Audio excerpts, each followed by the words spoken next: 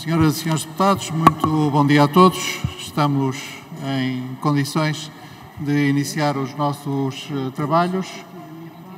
Não havendo expediente, solicito aos senhores agentes da autoridade o favor de abrirem as galerias ao público. E vamos iniciar os nossos trabalhos pela discussão das normas que foram avocadas para a sessão plenária de hoje.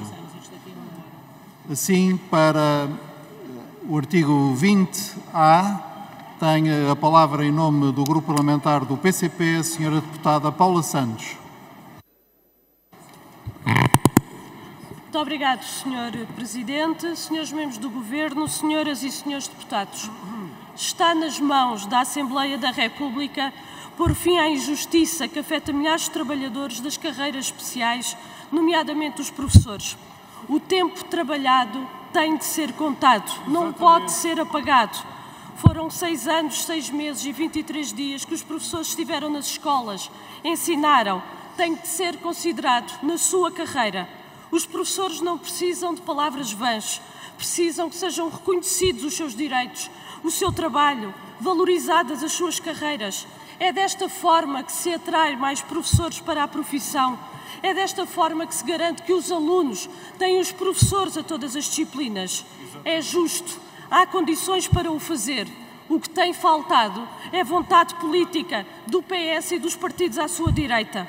Não se pode ignorar a hipocrisia do PSD, que agora procura branquear a sua responsabilidade, quando em 2019, se não tivesse recuado, traído os professores e votado contra, dando mão ao PS, Hoje o problema estava resolvido. Sim, foi o PSD que apoiou o PS para que todo o tempo de serviço não esteja ainda a ser contabilizado para efeitos de progressão. Mas também não se pode ignorar a demagogia do Chega, quando muitos dos seus dirigentes ainda estavam no PSD e no CDS e quando estavam no governo desvalorizaram a carreira docente, promoveram a precariedade e o desemprego, chegaram a convidar os professores para emigrar. Senhoras e senhores deputados, hoje pode-se, de uma vez por todas, resolver este problema e contabilizar todo o tempo de serviço. Não é uma questão de meios financeiros, porque os há. Basta ver o orçamento que desperdiça recursos em benefícios fiscais para os grupos económicos, em transferências de verbas para os grupos privados, em parcerias público-privadas. É uma questão de opção política. Não se permita que a injustiça permaneça.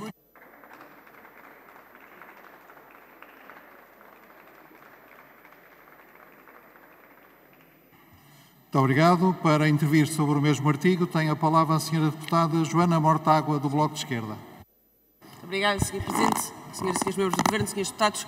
O Governo quis fazer dos professores o pior exemplo. Quis dizer ao país que não se negocia com representantes de trabalhadores das funções essenciais do Estado, da saúde, da escola, e todos vimos o resultado disso. A recuperação do tempo de serviço dos professores era e continua a ser a única coisa que pode desbloquear uma negociação com professores que tanta fa falta fazem à escola pública. Não reconhecer o tempo trabalhado pelos professores era e sempre foi uma injustiça, mas neste momento é também uma irresponsabilidade porque o país precisa de professores qualificados e valorizados. O país precisa de um governo que negocie com os professores, porque nós precisamos de professores para que a escola pública possa ter futuro.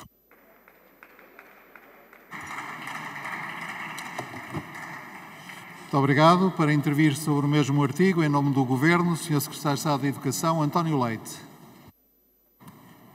Muito obrigado, Sr. Presidente. Muito bom dia a todas e a todas, senhoras e senhores deputados. Eh, a minha resposta às palavras vãs de que aqui o Governo foi acusado de ter são, tal como já ontem referi, professores a progredir desde 2018, sendo que neste momento estão 16% dos professores no topo da carreira e um número muitíssimo menor de pessoas nos índices iniciais, ao contrário do que acontecia na altura. Professores a quem é aplicado o acelerador da carreira, a quem já foi aplicado mais, a mais de 5 mil e durante este ano serão 12 mil. Professores com apoio à renda para as situações em que têm que se deslocar para Lisboa e Val do Tejo, professores em mais de 8 mil vinculados no último concurso e uma negociação constante com todos os sindicatos, tendo mesmo sido objeto de um acordo relativamente à vinculação de um destes grupos de professores. Uma coisa é uma acusação de palavras vãs, outra coisa são os factos, e esses não são vãos, são factos verdadeiros.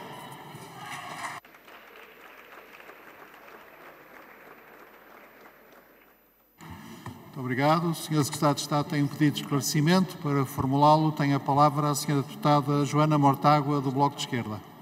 Muito obrigada, Sr. Presidente. Sr. Secretário de Estado, os factos são milhares de alunos sem aulas porque faltam professores. Os factos é a conflitualidade dentro das escolas porque o Governo não negocia com os sindicatos. Os factos são professores que acampam porque não têm alojamento quando são deslocados. Os factos são professores que pagam para trabalhar e que não conseguem acompanhar as suas famílias e os seus filhos. E em relação a esses factos, o Governo não fez nada.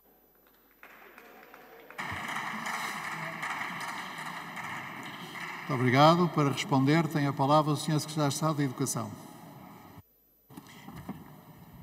Muito obrigado, Sr. Presidente. Senhoras e Senhores Deputados, os factos são, como em todos os anos letivos, há alguns alunos a quem em todos os dias faltam professores, porque em todos os dias, em todos os dias, em todos os anos, houve professores, houve alunos sem professores. Estes são os factos.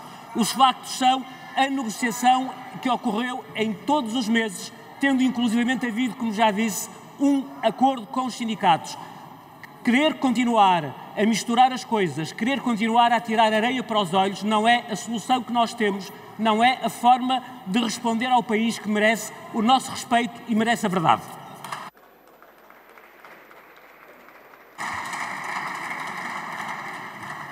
Muito obrigado. Para intervir sobre o mesmo artigo, em nome do Grupo Parlamentar do PSD, tem a palavra o Sr. Deputado António Cunha. Obrigado, Sr. Presidente, senhoras e senhores deputados, senhores membros do Governo. Eh, é evidente que o PSD tem estado bastante atento eh, a toda a instabilidade que se tem passado no setor da educação. E, senhores deputados, hipocrisia, senhora deputada Paula Santos, é os senhores terem apoiado o Governo durante a geringonça e nunca, e nunca, e nunca terem colocado e nunca terem colocado e nunca terem colocado o tempo de serviço como condição para que continuassem a governar. E portanto,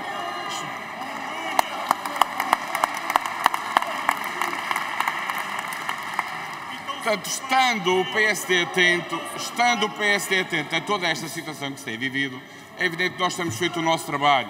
E em fevereiro deste ano agendamos um debate putestativo entre várias ações, tínhamos esta questão que recomendava ao Governo que negociasse com os sindicatos a questão do tempo de serviço.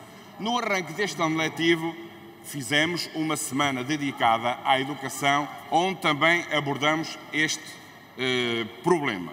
E ao contrário do Partido Socialista, o PSD tem muito respeito pelos professores e pela escola pública.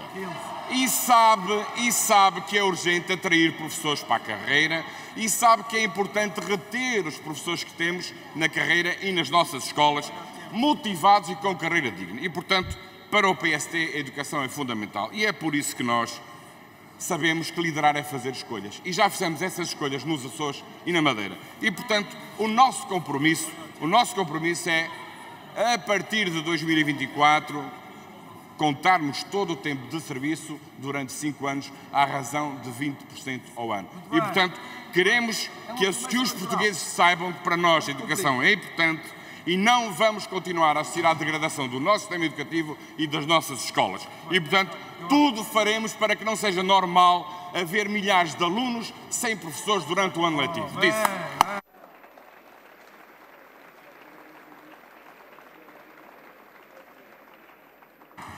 Muito obrigado. Sobre o mesmo artigo, para intervir em nome do Grupo Parlamentar do Chega, tem a palavra o Sr. Deputado Gabriel Mitar Ribeiro. Senhor Presidente de algumas bancadas, senhoras e senhores deputados, senhores membros do Governo, o Partido Chega apresenta uma proposta de alteração do Orçamento de Estado para 2024 que permite a recuperação integral do tempo de serviço dos professores o processo deve ser negociado com os sindicatos dos professores até um prazo máximo de três anos. Governar oito anos consecutivos e deixar o Ministério da Educação em situação crónica de desequilíbrio financeiro é tudo o que o sentido de responsabilidade social e cívica jamais pode ser. A questão é tanto mais sensível quando está em causa o maior grupo socioprofissional do país. Estamos a falar de 150 mil profissionais com formação média e elevada, dispersos praticamente por todas as freguesias, conselhos e distritos do país. Portanto, é Portugal que está em causa. O congelamento do tempo de serviço dos professores e os maus salários constituem o retrato cruel do abandono de uma sociedade inteira pelo poder político narcísico que só se preocupa consigo mesmo e com os seus. Já, já nem refiro a indisciplina, burocracia e escolas degradadas que martirizam um grupo socioprofissional dominantemente feminino para quem enche a boca com a defesa das mulheres. Desde abril, desde abril de 2022 que o Partido Chega recomenda cortes na máquina burocrática intermédia do Ministério da Educação. O senhor Ministro da Educação levou mais de um ano para esclarecer que esses gastos representam 1% das despesas, mas até hoje nunca esclareceu a dimensão do desperdício financeiro com currículos e horários extensos e maus o poder político semeou nas escolas públicas uma espécie de TAP a cada ano, paga à custa dos salários e carreiras dos professores, à custa dos contribuintes.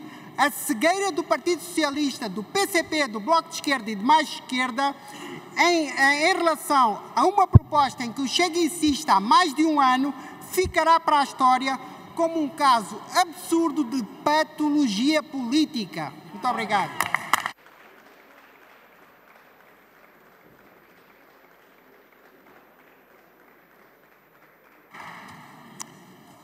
Para intervir sobre o mesmo artigo, em nome da Iniciativa Liberal, tem a palavra o Sr. Deputado João Coutrinho de Figueiredo. Muito obrigado, Sr. Presidente, Senhores membros do Governo, e Senhores Deputados. Se alguém quiser saber a diferença que a Iniciativa Liberal faz na cena política portuguesa, basta olhar para a nossa votação para propostas deste tipo. Cada vez que há propostas que fazem eco de pretensões legítimas e que escondem o seu custo escondem também os direitos legítimos dos contribuintes. E, portanto, nós não vamos embarcar, mesmo em épocas pré-eleitorais, mesmo em épocas em que seria mais fácil dar tudo a todos, não vamos abarcar e embarcar em eh, eh, propostas que são claramente eleitoralistas só para agradar a determinados, a determinados setores do eleitorado. Os professores têm direito a que o seu tempo seja contado, se ele o há contado, mas nunca com base em propostas que nem o número faz. Connosco, não.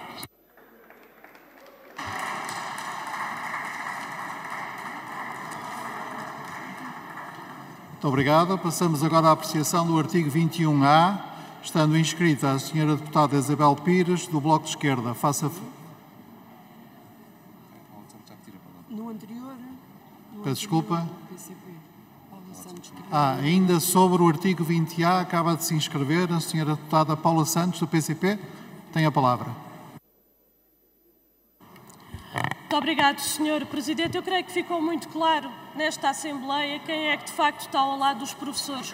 E o PCP, desde sempre, se opôs ao, ao congelamento e desde o primeiro momento que tem estado a defender, de facto, seja considerado este direito. Ficou claro quando havia a possibilidade de aprovar a proposta, o PSD dá a mão ao PS no momento em que não tinha maioria absoluta e que fazia, de facto, dava a possibilidade para aprovar esta, esta, esta proposta. Relativamente à iniciativa liberal, o desprezo relativamente aos trabalhadores e aos funcionários fica bem claro, porque aquilo que querem é transferir os recursos públicos para os grupos económicos, aqueles que os senhores aqui defendem, e não defender os direitos dos trabalhadores, os direitos das crianças e dos estudantes nas escolas. Já quanto ao Chega, aquilo que deixa bem claro é de facto todo o seu procuram ocultar aquele que é o seu posicionamento e quando estavam no PSD muitos dos seus direitos sempre atacaram os professores. Hoje há a possibilidade de facto de fazer uma opção.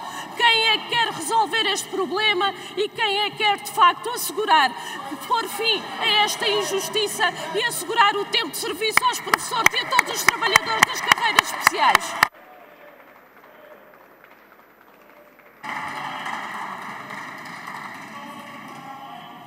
Muito obrigado. Passamos então agora ao artigo 21A. Para intervir, tem, em nome do Bloco de Esquerda, tem a palavra a senhora deputada Isabel Pires. Obrigada, Sr. Presidente, Srs. membros do Governo, Srs. deputados, Sras. deputadas. O legado, um dos legados da maioria absoluta do PS vai ser, sem dúvida, e é a degradação do SNS. Uma degradação pensada, propositada. Nós temos neste momento mais de 30 urgências com limitações, 1,7 milhões de pessoas sem médico de família, o aumento do tempo de espera para consultas e cirurgia e, de facto, conseguiram fazer recuar o país a tempos que não queríamos de volta. E agora que o governo que suportavam decidiu demitir-se, agora que este projeto que apoiavam acabou acabou com uma crise política, eh, é hora de dizer e exige-se neste momento que se pare de dar cabo do Serviço Nacional de Saúde. Já bastaram estes anos de maioria absoluta. Aquilo que se pede neste momento e que os profissionais e os utentes pedem, não continuem com o projeto de, de, de degradação do SNS em vésperas de uma dissolução. Porque neste momento o Governo faz simulacro de negociação atrás de simulacro de negociação. Arrasta-se há 19 meses sem qualquer intenção de acordo, só à espera que que tudo isto acabe. Enquanto isso, transfere maternidades para o privado, abre os, abre os cuidados de saúde primários ao privado e, portanto, é todo um tapete vermelho ao negócio da saúde. E o grupo parlamentar do Partido Socialista alinha neste teatro. De manhã defendem o SNS, à tarde chumbam as medidas para fixar e para trazer mais profissionais de saúde para o serviço público. Diz que tem muito dinheiro para investir, até há excedentes orçamentais, mas recusa todas as medidas que garantem mais médicos, mais enfermeiros, mais técnicos, mais farmacêuticos. E, portanto, a proposta que está em cima da mesa é muito clara. 15% aumento salarial para todos os profissionais do SNS, 40% para quem queira trabalhar em exclusividade. É simples, significa ter mais profissionais no SNS ou então querermos ter serviços permanentemente encerrados. A pergunta é muito simples: vai ou não o Partido Socialista querer mais profissionais ou então vai querer ter, continuar a ter urgências encerradas e menos acesso à saúde?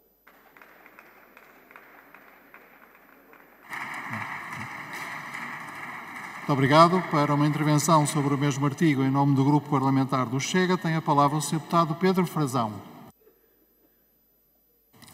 Muito obrigado, Sr. Presidente de algumas bancadas, Srs. Deputados e Srs. Membros do Governo. O Bloco de Esquerda tem uma grande desfaçatez em vir aqui falar do legado do PS. Oh, Sra. Deputada e Srs. Deputados do Bloco de Esquerda, vocês fazem parte desse legado. É que o desmantelamento do SNS não começou há dois anos, não. O desmantelamento do SNS começou em 2015, quando a extrema-esquerda atacou o poder juntamente com o PS.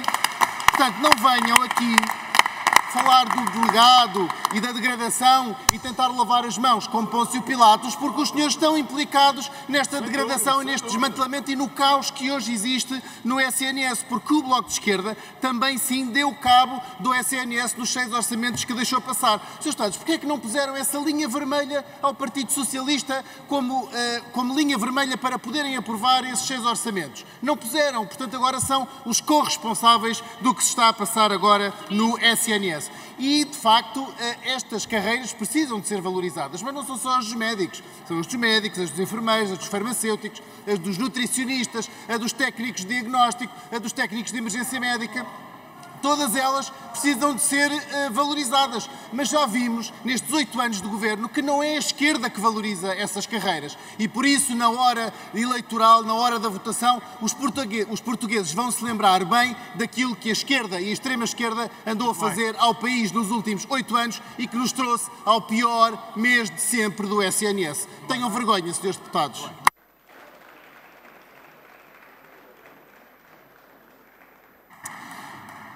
Para uma intervenção sobre o mesmo artigo, em nome do Grupo Parlamentar do PSD, tem a palavra o Sr. Deputado Pedro Melo Lopes.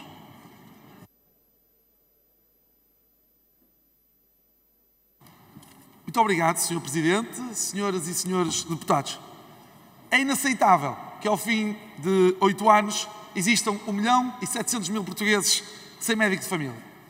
O Partido Socialista é incompetente. É incompetente porque diz que falta o planeamento aos outros governos todos, os governos do Partido Socialista e alguns deles apoiados pela esquerda. O PS é negligente. Esta negligência do Partido Socialista afeta di diariamente os portugueses e os doentes. Ainda ontem, mais uma vez, a incompetência do Partido Socialista voltaram a falhar as negociações com os médicos. Senhoras e senhores deputados, a saúde não pode esperar. E ao fim de oito anos, depois do seu Primeiro-Ministro António Costa aqui neste Parlamento prometer que em 2017 todos os portugueses tinham médico de família, é hora de fazer o teste do algodão e, vai, e vamos ter eleições. É que o algodão, ao contrário do Partido Socialista, não engana. Não, vocês não conseguiram cumprir essa promessa eleitoral e essa é uma marca, é um fracasso da vossa governação. 1 milhão e 700 portugueses sem médico de família, quando em 2011 quando em 2011 apenas existia um milhão de sem médico de família e o PSD iria resolver o problema com toda a certeza. Agora está nos momentos das nossas mãos. Obrigado.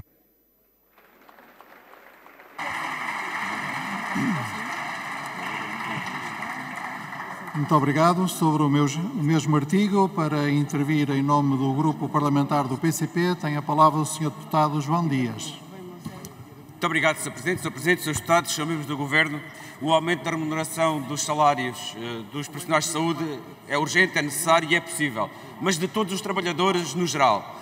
Eh, é evidente que o PCP também deixa aqui uma, um alerta. É que para muitos dos profissionais de saúde, para muitos dos grupos profissionais, este aumento de 15% proposto agora pelo Bloco de Esquerda pode ser insuficiente, tal é a desvalorização das carreiras, muitas delas têm mais de uma década de desvalorização. Por isso o que importa é valorizar uh, estas carreiras, por forma a que, nomeadamente, falo do quê? Falo dos enfermeiros dos centros operacionais, no caso dos enfermeiros, da paridade uh, à carreira técnica superior da administração pública, no caso dos farmacêuticos, carreiras que, manifestamente, o aumento de 15% é insuficiente, portanto, defendemos sim o aumento e a valorização dos salários, de uma forma geral, para todos os trabalhadores.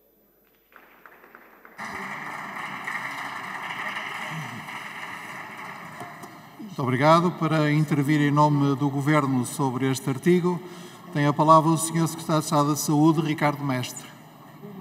Muito obrigado, Sr. Presidente, senhoras e senhores deputados.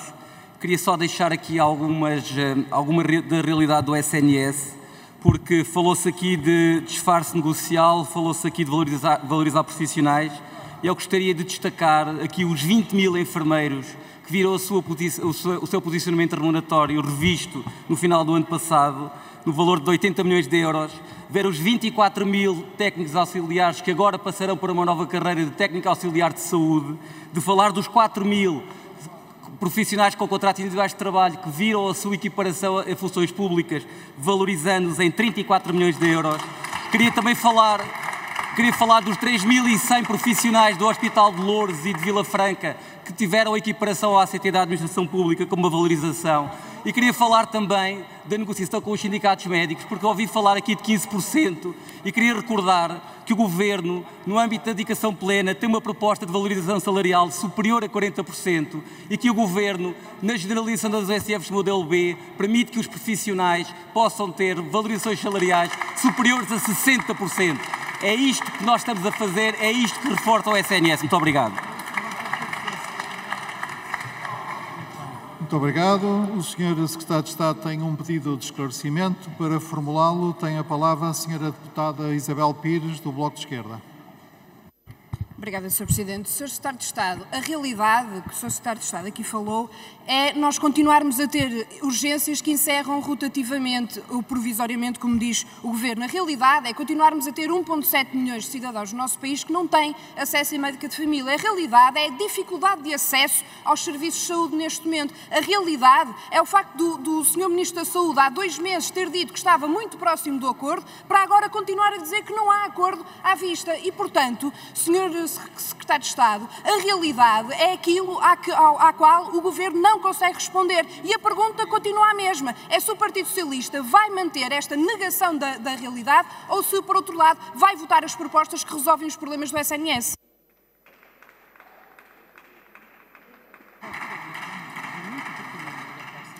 Muito obrigado. Para responder, tem a palavra o Sr. Secretário de Estado da Saúde. Muito obrigado, Sr. Presidente. Senhora Deputada, a realidade é que o Bloco de Esquerda, o ano passado, falava muito das ESFs modelo B e agora já não fala. E sabe porquê? Porque elas vão ser generalizadas a todo o país.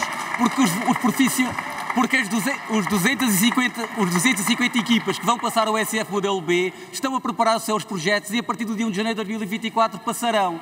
A realidade também é, a realidade também é a evolução que o Governo tem feito na negociação com os médicos e agora aguardamos que sejam os sindicatos médicos a aproximar-se das propostas do Governo. Muito obrigado.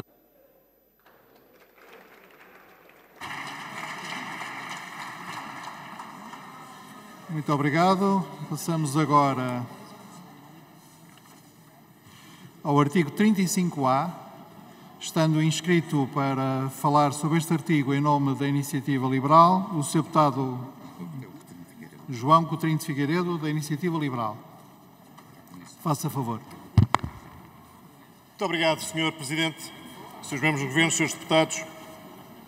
O caso da TAP é talvez o mais flagrante caso de desrespeito pelo dinheiro dos outros e pelo dinheiro dos portugueses. Sem nunca ter perguntado nada a ninguém, sem nunca ter inscrito esta intenção em nenhum programa, sem nunca ter sido sufragado, o Governo decidiu enterrar 3.200 milhões de euros do nosso dinheiro, do vosso dinheiro, na TAP, sem saber como é que lá havia de sair. E já houve um decreto que previa a venda da maioria, foi votado pelo Sr. Presidente da República, e agora no PS nem se sabe se é maioria ou minoria que é para vender. Uma coisa é certa, não se vai recuperar a totalidade do dinheiro. Senhores deputados, querem eleitoralismo nesta altura? Ponham nos vossos programas, ponham nos vossos programas o que é que querem fazer à TAP e digam aos portugueses que não vão ver nem metade do dinheiro de volta. Para nós, é claro, todo o cêntimo gerado pelas vendas da TAP deve ser devolvido aos portugueses. Quais portugueses? A todos. Essa é a proposta da Iniciativa Liberal, claros como sempre.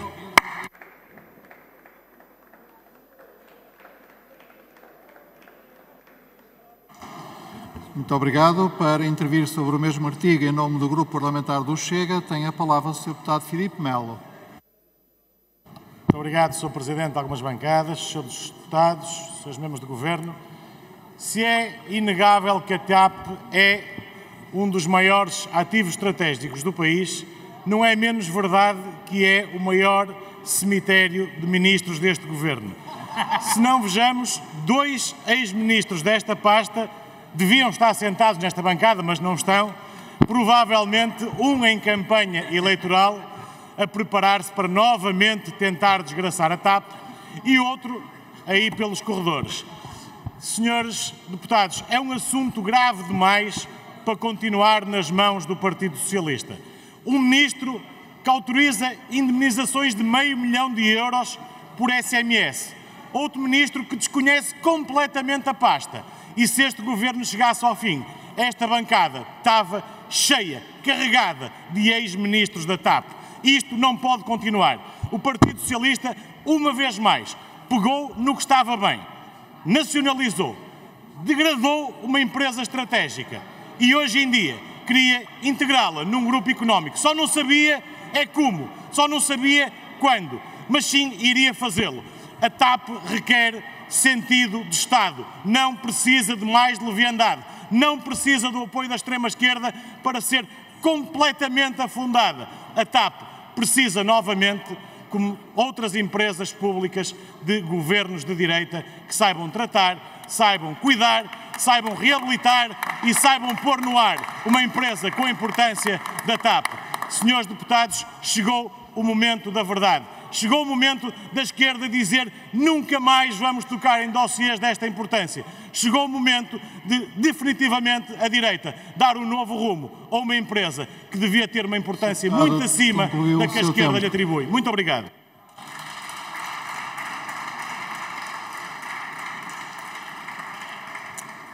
Para intervir sobre o mesmo artigo, em nome do Partido Livre, tem a palavra o. Deputado Rui Tavares. Muito obrigado, Sr. Presidente. Bom dia, caras e caros colegas, senhoras e senhores membros do Governo, caros concidadãos nas galerias. Sr. Deputado João Coutinho de Figueiredo, eh, devo dizer que não estava à espera que o Sr. Deputado, na apresentação de uma proposta na qual propõe que o produto da venda da TAP seja distribuído por todos os portugueses de forma igualitária, portanto, se for 500 milhões de euros, 10 milhões de portugueses, 50 euros a cada um, ainda tivesse enfim, quer dizer, o descaramento de vir verberar o eleitoralismo dos outros. Porque não há proposta mais eleitoralista do que esta e que se fosse aplicada a qualquer outro ativo nacional, bem, também dava a mesma coisa. Quer dizer, vendíamos as selvagens ou as desertas e era capaz de dar, fazia-se uma manjuração para os madeirenses, podiam, além do jantar, beber um cafezinho a seguir. Não é sério vir falar do que é um ativo nacional que ainda se pode valorizar, porque, quer dizer, basta a iniciativa liberal, que certamente é tão atento ao mercado, ler qualquer consultora da área do setor aeronáutico, tenho aqui à minha frente um relatório da Gridpoint, da Gridpoint Consulting que diz que a TAP é das empresas que mais pode beneficiar com passar uma parte da sua frota, 20% dela é de fuselagem estreita e se for para aviões de fuselagem larga significa menos emissões por passageiro, mais gente para as mesmas rotas. Isto significa o que a Iniciativa Liberal quer fazer é vender a galinha dos ovos de ouro, distribuir uma febra aqui, uma asinha acolá, uma coxa acolhi, quando há uma ideia melhor. É deixar a TAP desenvolver-se, deixar a TAP dar lucro como está a dar lucro, esse lucro reverter sim para o país e fazer da TAP um centro de conhecimento avançada na transição energética das aeronaves, na passagem para outros combustíveis, na nossa ligação ao resto do mundo, como um posto avançado do que o país pode ser, uma economia do conhecimento que gere valor, que distribua esse valor, mas que não uh, decida logo à primeira dificuldade, distribuir esse valor por atacado e tanto o português rico como o português pobre leva os mesmos 50 euros e a TAP voou. Muito obrigado. Muito obrigado. Tenho a palavra sobre o mesmo artigo, em nome da Iniciativa Liberal, do Sr. Deputado João Coutinho de Figueiredo. Muito obrigado, Sr. Presidente. Sr. Deputado Rui Tavares, muito obrigado por fazer o argumento por mim.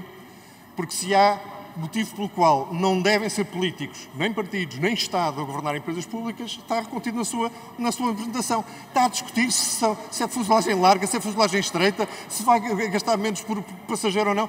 não. Nenhum de nós sabe. Se há indústria no mundo que é mais volátil e tanto perde num ano aquilo que ganha em três, é a indústria da aviação. Eu não quero os portugueses a brincar aos aviões. E se o dinheiro dos portugueses foi investido no, na companhia sem lhe perguntarem, vai ser devolvido aos portugueses sem terem que pedir. É tão simples quanto isto. Não quero deputados, não quero a mim próprio a gerir empresas de aviação. Portanto, está tudo dito. É por isso que o Estado não tem que se meter na economia, porque, sobretudo na aviação civil, nenhum de nós sabe o suficiente para fazer o que o Sr. Deputado diz. Portanto, não. A TAP deve ser devolvida, sim, mas o dinheiro aos portugueses. Muito obrigado.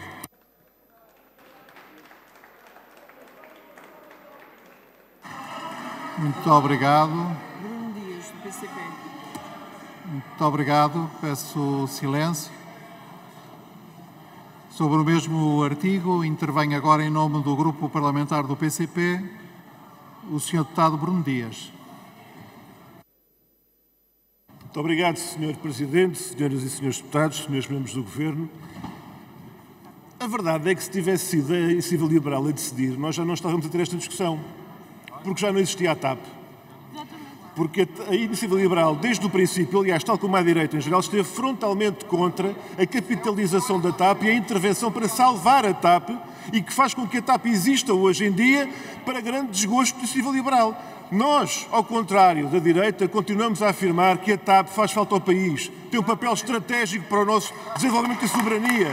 A TAP é importante para o nosso país e vai fazer falta no futuro. Ora, aquilo que a IEL agora nos apresenta, talvez aderindo à nova moda da motosserra, é eh, desmontar a TAP e dar a cada português uma pecinha de um avião para souvenir. Querem rifar a companhia aérea de bandeira, querem entregar a cada um de nós uma peça de um reator para que a gente se lembre que em tempos houve uma companhia aérea de bandeira estratégica para o nosso desenvolvimento, para a ligação às comunidades, às regiões autónomas, para criar riqueza no país. Nós não alinhamos, não alinhamos na estratégia de destruição de pilares fundamentais da economia nacional e esta conversa toda serve para tentar disfarçar aquilo que é uma evidência. É que o Chega, a IEL, o PSD e o PS estão de acordo em privatizar a TAP. Nós não estamos. Muito obrigado. Obrigado.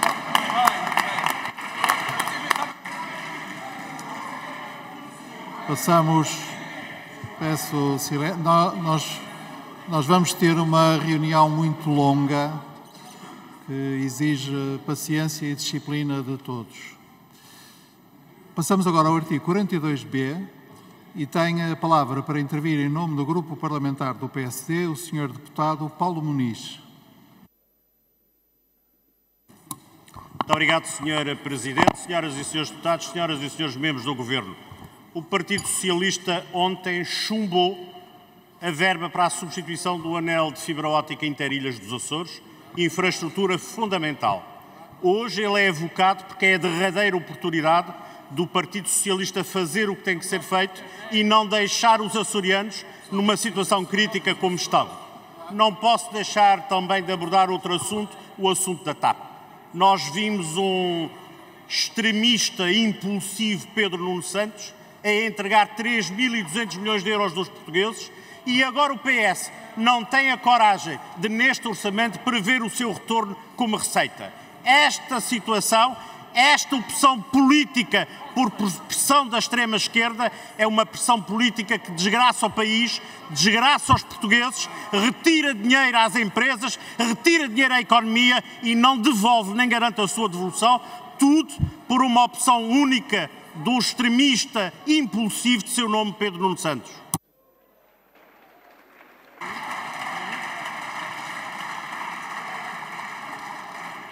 Muito obrigado. Para intervir sobre o mesmo artigo, em nome do Grupo Parlamentar do PS, tem a palavra o Sr. Deputado Eurico Brilhante Dias.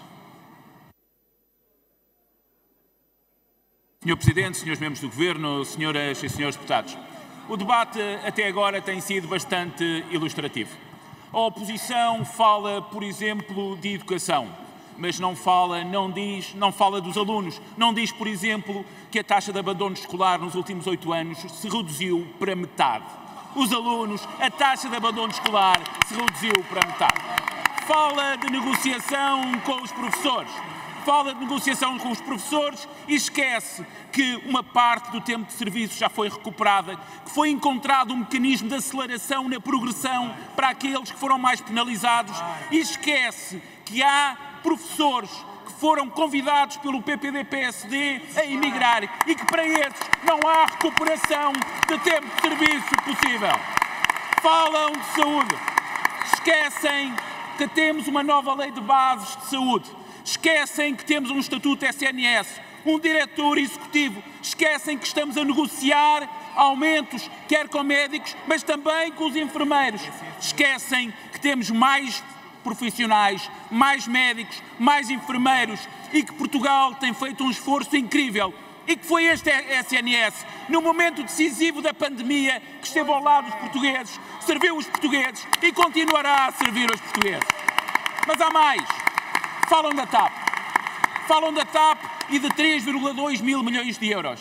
Mas há que dizer, a TAP que os senhores falam é aquela que hoje, por intervenção do governo do PS, continua a exportar serviços, continua a exportar serviços e a contratar com milhares de empresas portuguesas para continuar a levar as comunidades portuguesas aos territórios, mas para virem a Portugal.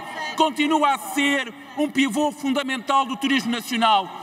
Continua a ser uma empresa em que hoje os seus trabalhadores já recebem finalmente, integralmente, os seus salários e continua a ser uma empresa que, acima de tudo, contribui positivamente para o Orçamento de Estado com resultados positivos. Meus senhores, à direita só há uma palavra: destruir. Quando investimos no público, a solução é privado. Quando queremos melhores serviços públicos, a ideia é destruir serviços públicos e transferir para o privado quando queremos uma TAP pública como elemento central e estratégico, ainda que integrada em grandes grupos internacionais e alianças internacionais, os senhores dizem não é suficiente. Orgulhamos-nos do trabalho feito na saúde, na educação, na TAP. O nosso legado está aos olhos dos portugueses e é por isso que o único discurso positivo neste hemiciclo é o do PS. É isto que temos que fazer avançar o país. Os senhores só fazem com que o país ande para trás. O país não vai parar e não vai parar nem a 10 de março. Muito obrigado.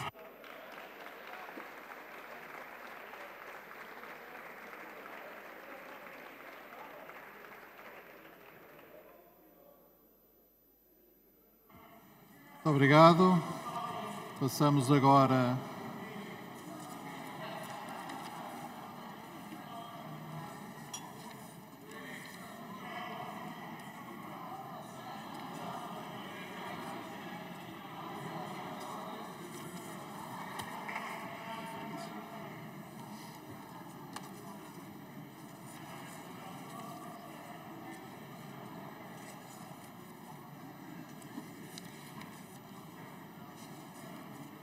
ao artigo 80A.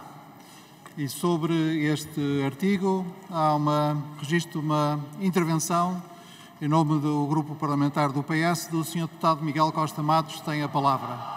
Peço silêncio. Senhor Presidente, Senhora Ministra, Senhoras e Senhores Secretários de Estado, Senhoras e Senhores Deputados, nos próximos meses vamos ouvir, se calhar com todo este barulho, muito daquilo que é o país que nós queremos. Mas quando nós chegamos a alguns eleitores, quando chegamos sobretudo à minha geração, isto parece que é mais o discurso do que ainda há mais. E propostas não faltam, mas na verdade o que falta muitas vezes é a coragem de fazer. Nós fomos ver estes últimos oito anos, quando chegou a altura de termos passes mais baratos, manuais gratuitos, creches gratuitas, reforma das leis laborais, subida do salário mínimo, alguns, como o PS, ousaram fazer e outros votaram contra. Porque de facto não conta ser aqui muito eloquente a criticar o país que nós temos. É preciso mesmo saber construir o país que queremos ter. E este orçamento é a corporização de sermos consequentes assim porque hoje quem fechou residências diz que faltam residências, mas nós inscrevemos 520 milhões no PRR e a obra está em curso em todo o país para que ela possa existir. Ser-se consequente é não deixar os estudantes à espera e é aumentar o apoio do complemento de alojamento, que em 2015 era de 73 euros e agora no máximo supera os 400. Porque quem cortou bolsas sabe que hoje ela chegou a mais jovens, mais cedo quem mandou os jovens emigrar sabe que hoje temos uma economia que cresce 10 vezes mais, salários que são 40% superiores e não esperamos a mão invisível do mercado para dar incentivos fiscais para as empresas aumentarem os rendimentos. E este orçamento, Sr. Presidente, na alteração da especialidade, de facto corporiza como é que podemos ir mais além regulamentar taxas de emolumentos, verdadeiras propinas escondidas, apoiar os estudantes em estágios curriculares nos custos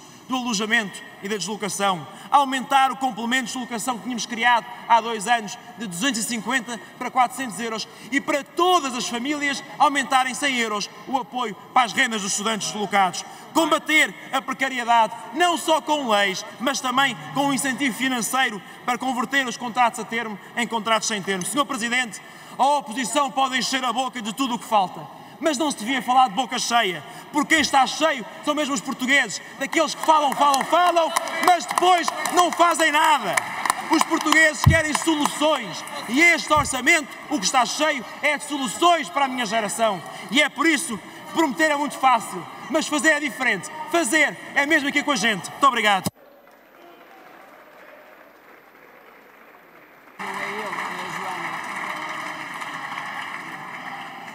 Muito obrigado. Para intervir eh, em nome da Iniciativa Liberal, tem a palavra a Sra. Deputada Carla Castro, a quem eu vou pedir que demore o tempo necessário antes de iniciar a sua intervenção, a que a Assembleia serena. Sra. Deputada, tem a palavra.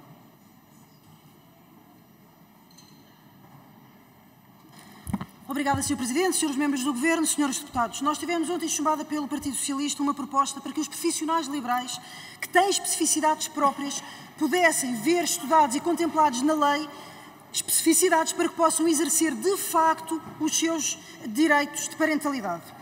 É verdade que está reconhecido na lei que podem usufruir de dias de licença de parentalidade, mas na prática a lei não é muitas vezes possível de ser aplicada pelas suas especificidades. E é isso que nós queremos, que se deem passos em frente para estudar. E pusemos uma proposta justamente para que possamos dar este passo, para termos consensos e para podermos dar um passo claro e um sinal claro que não mais vamos admitir que nos sejam ditos em reuniões, em congressos, em fóruns, em todas as formas que nos digam eu não pude exercer o meu direito de parentalidade, eu não tive o direito, eu não pude ter uma gravidez planeada. Isto são coisas que eu acho que tem de ser um amplo consenso que não é admissível no Portugal de hoje. Os profissionais liberais têm realidades específicas, em comparação com os trabalhadores por conta de outrem. Por exemplo, a volatilidade dos rendimentos, por exemplo, o período de amamentação. Importa, por isso, ir ao terreno, reconhecer estas dificuldades e percebermos como é que podemos consensualmente reconhecermos e adaptarmos. Uh, gostava de dizer também que em outros países isto já foi feito. Vou-vos dar dois exemplos. Por exemplo, os dias de licença são iguais e o, a forma de cálculo do rendimento de referência é igual. Por exemplo, dada a volatilidade maior dos profissionais liberais, há a possibilidade de considerar dois períodos. Vários países fizeram. Parece sensato. Não podemos falar sobre isso? Eu acho que sim. Por exemplo, durante o período de amamentação, há redução de horário e bem para as mulheres para que possam usufruir dos seus, dos seus direitos. Para os profissionais liberais, isso implica uma redução direta de rendimento. Outros países já solucionaram. E é isto que nós propomos. Vamos analisar este tema. Termino relembrando que isto foi algo que nesta Casa teve um amplo consenso, exceto a votação do Partido Socialista, mas há a oportunidade agora de reconhecer, de dar este passo em frente e darmos este sinal. E por isso exorto o Partido Socialista a mudar o seu sentido de voto e para que possamos ter o amplo consenso nesta Casa. Obrigada.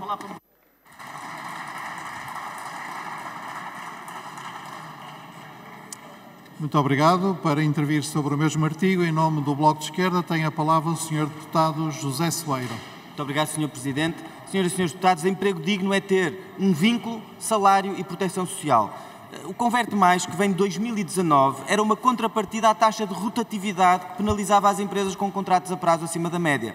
Os apoios às empresas avançaram, a penalização às empresas ficou na gaveta e sabe-se agora que nunca avançará.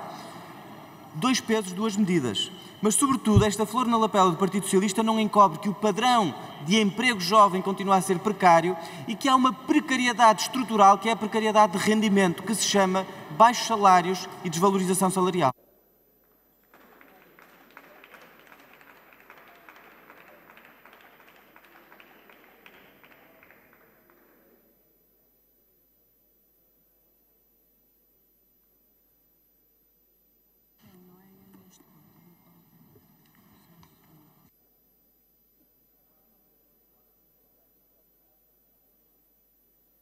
Muito obrigado. Passamos agora para o artigo 81b. Para intervir em nome do Grupo Parlamentar do PSD, tem a palavra o Sr. Deputado Nuno Carvalho. Muito obrigado, Sr. Presidente. Cumprimentá-lo a si, Sr. Ministro, Sr. Secretário de Estado. Ouvimos aqui as palavras do Partido Socialista, Sr. Deputado Henrique Branco Dias, Sr. Deputado Miguel Costa Matos. Um diz que está muito cheio, o outro diz que a opção só destrói.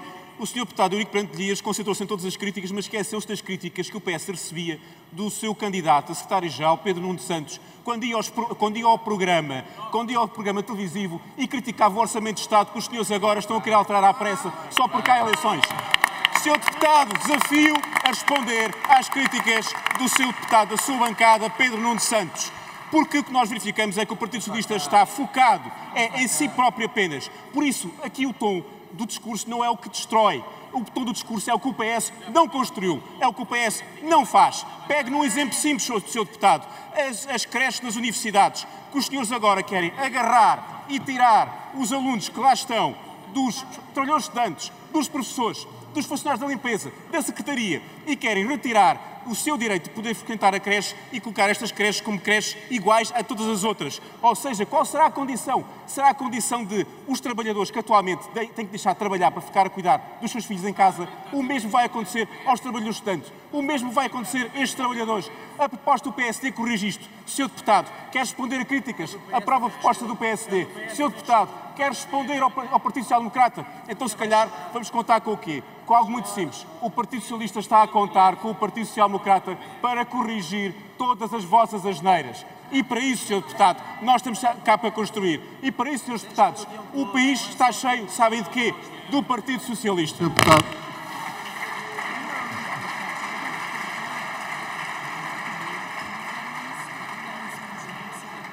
Muito obrigado. Para intervir sobre o mesmo artigo, em nome do PAN, tem a palavra a Sra. Deputada Inês Sousa Real.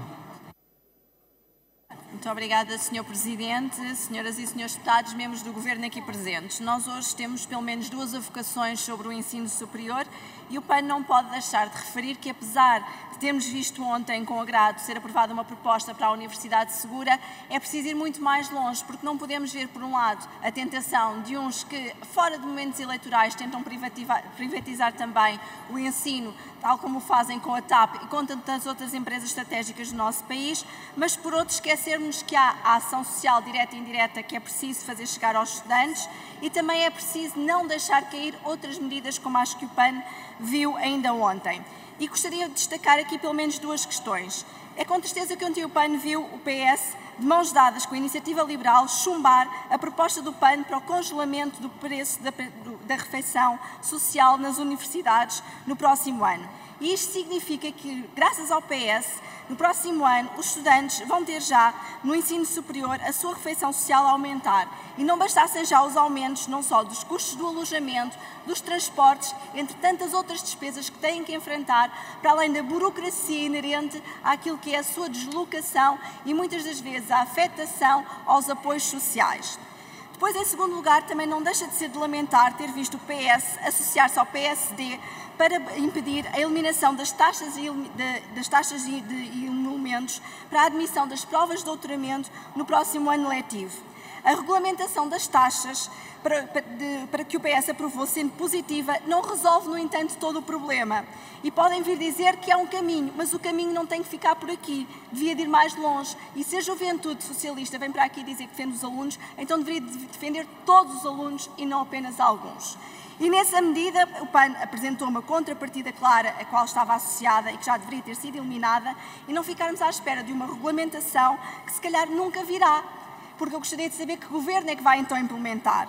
Porque isso, isso mesmo, no próximo ano, graças ao PS, ao PS e ao PSD, há estudantes que vão pagar mais de 700 euros para pagar a sua prova de doutoramento. E eu pergunto, em particular, à bancada dos, mais jovem do Partido Socialista, se acham que isto é justo, que um jovem pague mais de 700 euros para uma prova de doutoramento. E eu creio que concordarão que não, que não é justo, mas não os vimos ontem votar ao lado do PAN. Mas ainda assim gostaria de terminar alertando para o facto que hoje o PS tem a oportunidade de dar a mão aos estudantes e corrigir alguns erros, nomeadamente acompanhando propostas da mais elementar justiça, como alargar o passo social do sub-23 a todos os estudantes e não apenas aos estudantes para a obtenção de cursos que, com obtenção à licenciatura.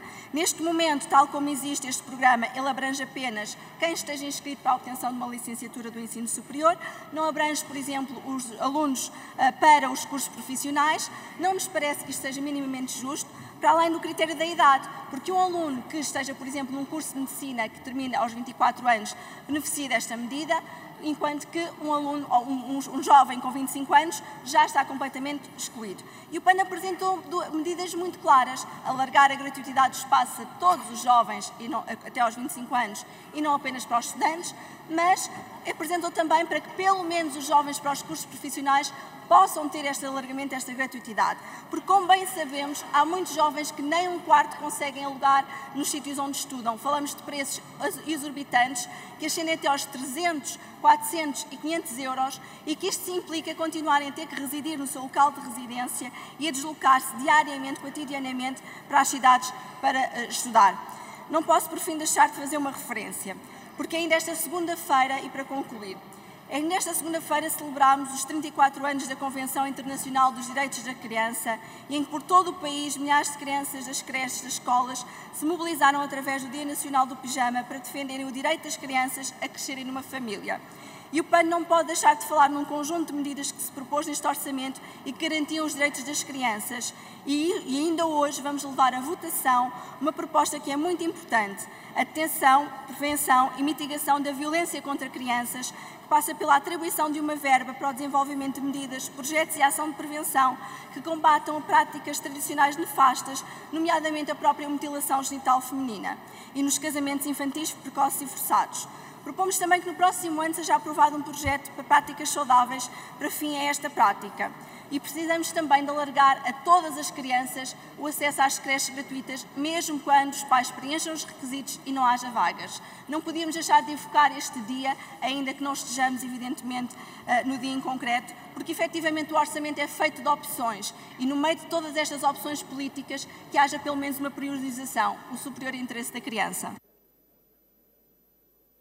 Obrigado. Para intervir sobre o mesmo artigo, tem a palavra o Sr. Secretário de Estado da Ciência, Tecnologia e Ensino Superior, Pedro Nuno Teixeira. Muito obrigado, Sr. Presidente, Senhoras e Senhores Deputados.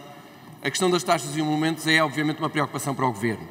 E, nesse sentido, o Governo fez um mapeamento ao longo deste ano de todas as taxas e emolumentos cobradas pelas instituições de ensino superior. E aquilo que se verifica é que há de facto uma grande disparidade de valores para o mesmo tipo de serviço e também se observa diferenças, havendo situações em que há instituições que cobram e outras que não cobram por, por, esta, por, por este serviço. E por isso parece-nos que é absolutamente claro que há aqui um esforço de regulação que tem que ser feito, em cooperação com as instituições, respeitando a sua autonomia, mas de facto parece-nos que esta é uma proposta que faz sentido, proposta do Partido Socialista, que faça um caminho ao longo de 2024 de regular, de clarificar aquelas taxas e elementos que têm uma justificação clara e aquelas que claramente não têm. E clarificar também aquele valor que seja ajustado. Este, aliás, é um orçamento onde cabe claramente fazer isso, porque marca um reforço significativo do financiamento público das instituições de ensino superior. Mais de 138 milhões, mais 10,7% de aumento da dotação das instituições de ensino superior. E por isso há capacidade para acomodar estas alterações no orçamento das instituições de ensino superior. Este é também um orçamento, permitam-me dizer, que reforça de uma forma significativa a Fundação Social.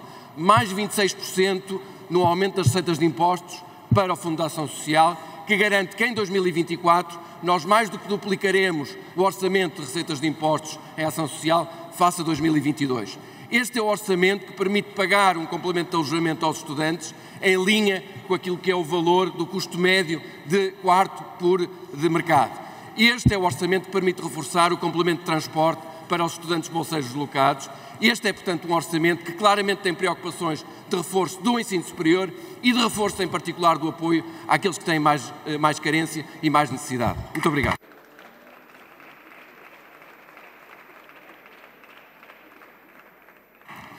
Muito obrigado. O Sr. Secretário de Estado tem um pedido de esclarecimento, não tem tempo para responder. Pergunto se o Bloco de Esquerda mantém o pedido, faz intervenção. Então temos primeiro a inscrição do Sr. Deputado Rui Tavares, do LIVRE, tem a palavra. Muito obrigado, Sr. Presidente. O Sr. Secretário de Estado teve ainda há pouco aquilo que me pareceu ser um, um lapsus língua, quando disse que tínhamos que regular como é que as universidades cobram por este serviço. É, se não é um lapso, é uma enorme diferença de entendimento que temos aqui entre esta bancada e essa. Porque aquilo que as universidades prestam não é um serviço, ou não é apenas um serviço. O que as universidades prestam é estarem integradas numa missão que beneficia todo o país. Não é um indivíduo, um consumidor que vai pagar um serviço. É alguém que teve durante anos a fazer uma tese de mestrado, teve durante anos a fazer o doutoramento, que esteve na precariedade, que uh, uh, deixou passar oportunidades porque quis qualificar-se e essa sua qualificação é boa para o país e quando chega ao fim da meta da maratona dizem paga mais isto, mais X, aqui, é, aqui o dobro, ali três vezes mais, para poderes defender a tese que durante anos estiveste a trabalhar nela. Ora, o que nós devíamos fazer é exatamente o contrário, como aliás o livro propôs desde o início desta legislatura, que quem tem um plano de formação credível tenha apoio do Estado, possa até ter acesso ao subsídio de desemprego para terminar aquela tese de mestrado ou doutoramento que depois nos vai beneficiar a todos, porque é a única maneira deste país subir na escala de valor, de pagar salários mais altos, que depois dão impostos que permitem ter serviços públicos de excelente qualidade e uma segurança social muito mais reforçada. E é isto que lamento que eh, no fim desta legislatura nunca tenhamos conversado. Como, aliás, lamento que nunca tenhamos conversado a sério da reforma do modelo de financiamento do ensino superior, sem a qual este país não será nunca um país justo porque acaba por ser um país onde a direita e, em particular, os liberais se queixam muito dos impostos, mas é que a maior parte dos impostos vão beneficiar os que já são mais ricos. E os serviços públicos, inclusive na universidade, vão beneficiar os que já são mais ricos, quando nós deveríamos ter um sistema de financiamento da universidade que passasse por um um tripé em que uma parte da atividade económica, dos impostos que sobre ela são recolhidos, servissem para os laboratórios, as bibliotecas, os edifícios de futuro, num fundo estratégico de financiamento do ensino superior, onde o orçamento do Estado pagasse as despesas correntes e onde houvesse, através da fiscalidade daqueles que são mais ricos, daqueles que estão no percentil mais alto de rendimento, a criação de um fundo de apoio aos estudantes de ensino superior para pagar as bolsas, para pagar os refeitórios, para pagar as despesas com livros, para pagar as despesas de deslocação, porque aqueles, como a maior parte de nós, a grande maioria de nós que aqui estamos, que beneficiamos do ensino superior público, se podem, se estão no escalão mais alto de rendimentos, eu creio que todos teríamos um grande orgulho e uma grande vontade de ajudar quem agora chega à universidade e precisa da nossa ajuda para poder estudar. Porque quem chega da universidade e é se calhar o primeiro filho, a primeira filha da sua família a fazer, hoje em dia a triste verdade é porque nunca discutimos a sério um modelo de financiamento que permitiria a sério abolir as propinas. Muitas destas pessoas vão ficar pelo caminho. É mau para elas, mas é péssimo para o país como um todo. Muito obrigado. Muito obrigado. Por uma intervenção em nome do Bloco de Esquerda, tem a palavra a senhora deputada Joana Mortágua. Muito obrigada, Sr. Presidente. Eu julgo que ouvimos bem. A ambição deste Governo é regular o, as taxas de entrega de tese. Tempos houve em que estávamos a negociar o caminho para o fim das propinas e o investimento público necessário para que as propinas desaparecessem e deixassem de ser um obstáculo de frequência do ensino superior. Esse caminho foi arrepiado definitivamente quando se trata, como já foi aqui dito, os estudantes das faculdades, não como um investimento, não como um serviço público, mas pelo princípio de, do utilizador-pagador. É o socialismo empresarial de que falava o Sr. deputado Miguel Costa Matos, o socialismo para os empresários, que trata os estudantes como clientes de uma instituição, de uma empresa e não como beneficiários de um serviço público universal que, a que todos temos direito.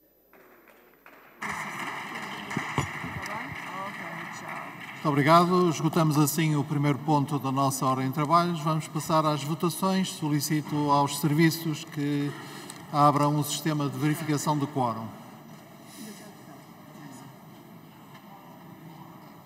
Agora temos esta proposta só se anuncia quando lá chegarmos?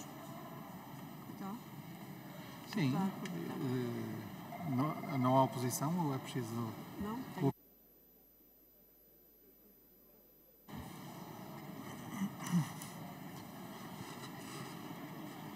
Pergunto se alguma senhora ou senhor deputado presente tenha tido, tido dificuldades em registrar-se eletronicamente. Ah, Senhor Presidente, ainda não consegui abrir aqui o sistema.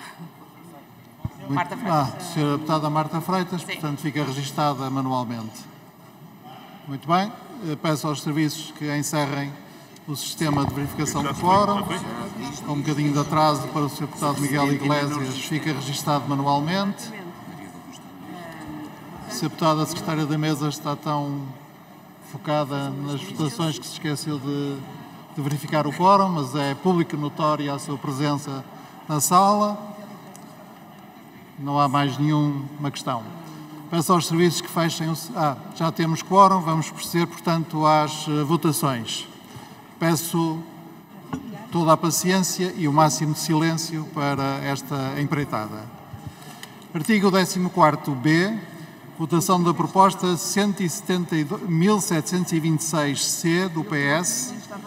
Aditamento de um artigo 14b. Implementação de um projeto piloto de criação de serviços integrados para crianças vítimas de crimes. Quem vota a favor? PS, PS, aprovado por unanimidade. Artigo 20A. Votação da proposta 45C do PCP. Aditamento de um artigo para a contabilização integral de todo o tempo de serviço das carreiras e corpos especiais. Quem vota a favor? Chega, PCP, Bloco de Esquerda, PAN e LIVRE. Quem vota contra? PS e Iniciativa Liberal. Abstém-se o PSD e a proposta foi rejeitada. Artigo 21A, votação da proposta 1155C, aditamento deste artigo, aumento de remuneração dos trabalhadores do SNS. Quem vota a favor? Chega, PCP, Bloco de Esquerda, PAN e LIVRE. Quem vota contra? PS. Abstém-se. PSD, Iniciativa Liberal. A proposta foi rejeitada. Votação da proposta 554C, aditamento do PSD, aditamento em um artigo 22A, aumento da cobertura de médicos de família. Quem vota a favor? PSD, Chega, Iniciativa Liberal, PAN e LIVRE. Quem vota contra? PS, PCP e Bloco de Esquerda. Não há, portanto, abstenções e a proposta foi rejeitada. Proposta 440C do Chega, aditamento. Peço desculpa. Deputado Carneiro? Sr. Presidente, só para depois pedir a desagregação nesta que estava a anunciar por números, o número 1, 2 e 3 separadamente. Quanto a esta proposta 440C, não havendo oposição, assim faremos. Portanto, é a proposta 440C, recuperação de todo o tempo de serviço na carreira de professor, artigo 24A, é esta. Primeiro ponto, quem vota a favor? Ninguém. Quem? O Bloco de Esquerda vota a favor. E o PAN? Talvez o Chega queira votar a favor da sua proposta. Eu não sou o vosso presidente, portanto não sei se estou autorizado a ajudar-vos. Quer? Quer votar? Portanto, ponto 1, um, Chega, votam a favor Chega, Bloco de Esquerda, PAN e LIVRE. É isso? LIVRE não vota a favor. E PAN. Quem vota contra, o ponto 1, um, PS e Iniciativa Liberal. Abstém-se o PSD, o PCP e o LIVRE. Ponto 2, quem vota a favor? Talvez o Chega, o Chega e o Bloco de Esquerda. E o PAN? Quem vota contra? PS PSD, Iniciativa Liberal. Abstém-se o PCP e o LIVRE e o ponto foi rejeitado. Ponto 3, quem vota a favor? Chega e Bloco de Esquerda e PAN. Quem vota contra? PS e Iniciativa Liberal. Abstém-se o PSD, o PCP e o LIVRE. A proposta foi rejeitada. O LIVRE pede a palavra para indicar uma declaração de voto por escrito? Não. Uma Não. correção? Eh, Faça favor. Senhor Presidente, é uma correção. Peço imensa desculpa na votação da proposta 554 do PSD, no artigo 22A, a votação do LIVRE é contra e não a favor, como erradamente foi expresso. Muito obrigado. Muito bem, está registado, eh, o resultado não fica alterado e vamos então votar a proposta 440. Vamos votar a proposta 1002C. Quanto ao artigo 26, recrutamento de trabalhadores dos municípios em situação de saneamento ou de ruptura. Primeira proposta, eliminação do artigo 26. Quem vota a favor? É a proposta do PCP. PCP, Bloco de Esquerda e Livre. Quem vota contra? PS, PSD, Chega e Iniciativa Liberal. Quem se abstém? PAN. A proposta foi rejeitada. Vamos votar o número 1 do artigo 26.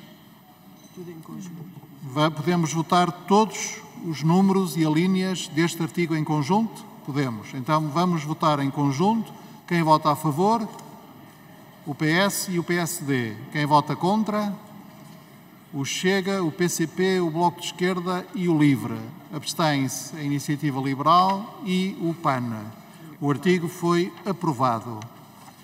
Passamos então à proposta 943C1 da Iniciativa Liberal, aditamento de um artigo 35A que devolve aos cidadãos os montantes obtidos com a privatização da TAP.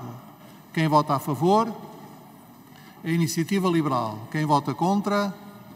PS, PCP, Bloco de Esquerda e Livre. Abstém-se o PSD, o Chega e o PAN e a proposta foi rejeitada. Se eu estiver a ir depressa demais, digam. Votação da proposta 892C do PSD, aditamento de um artigo 42B, substituição do sistema de cabos submarinos. Quem vota a favor? O PSD, o Chega, a Iniciativa Liberal, o PCP, o Bloco de Esquerda, o PAN e o Livre.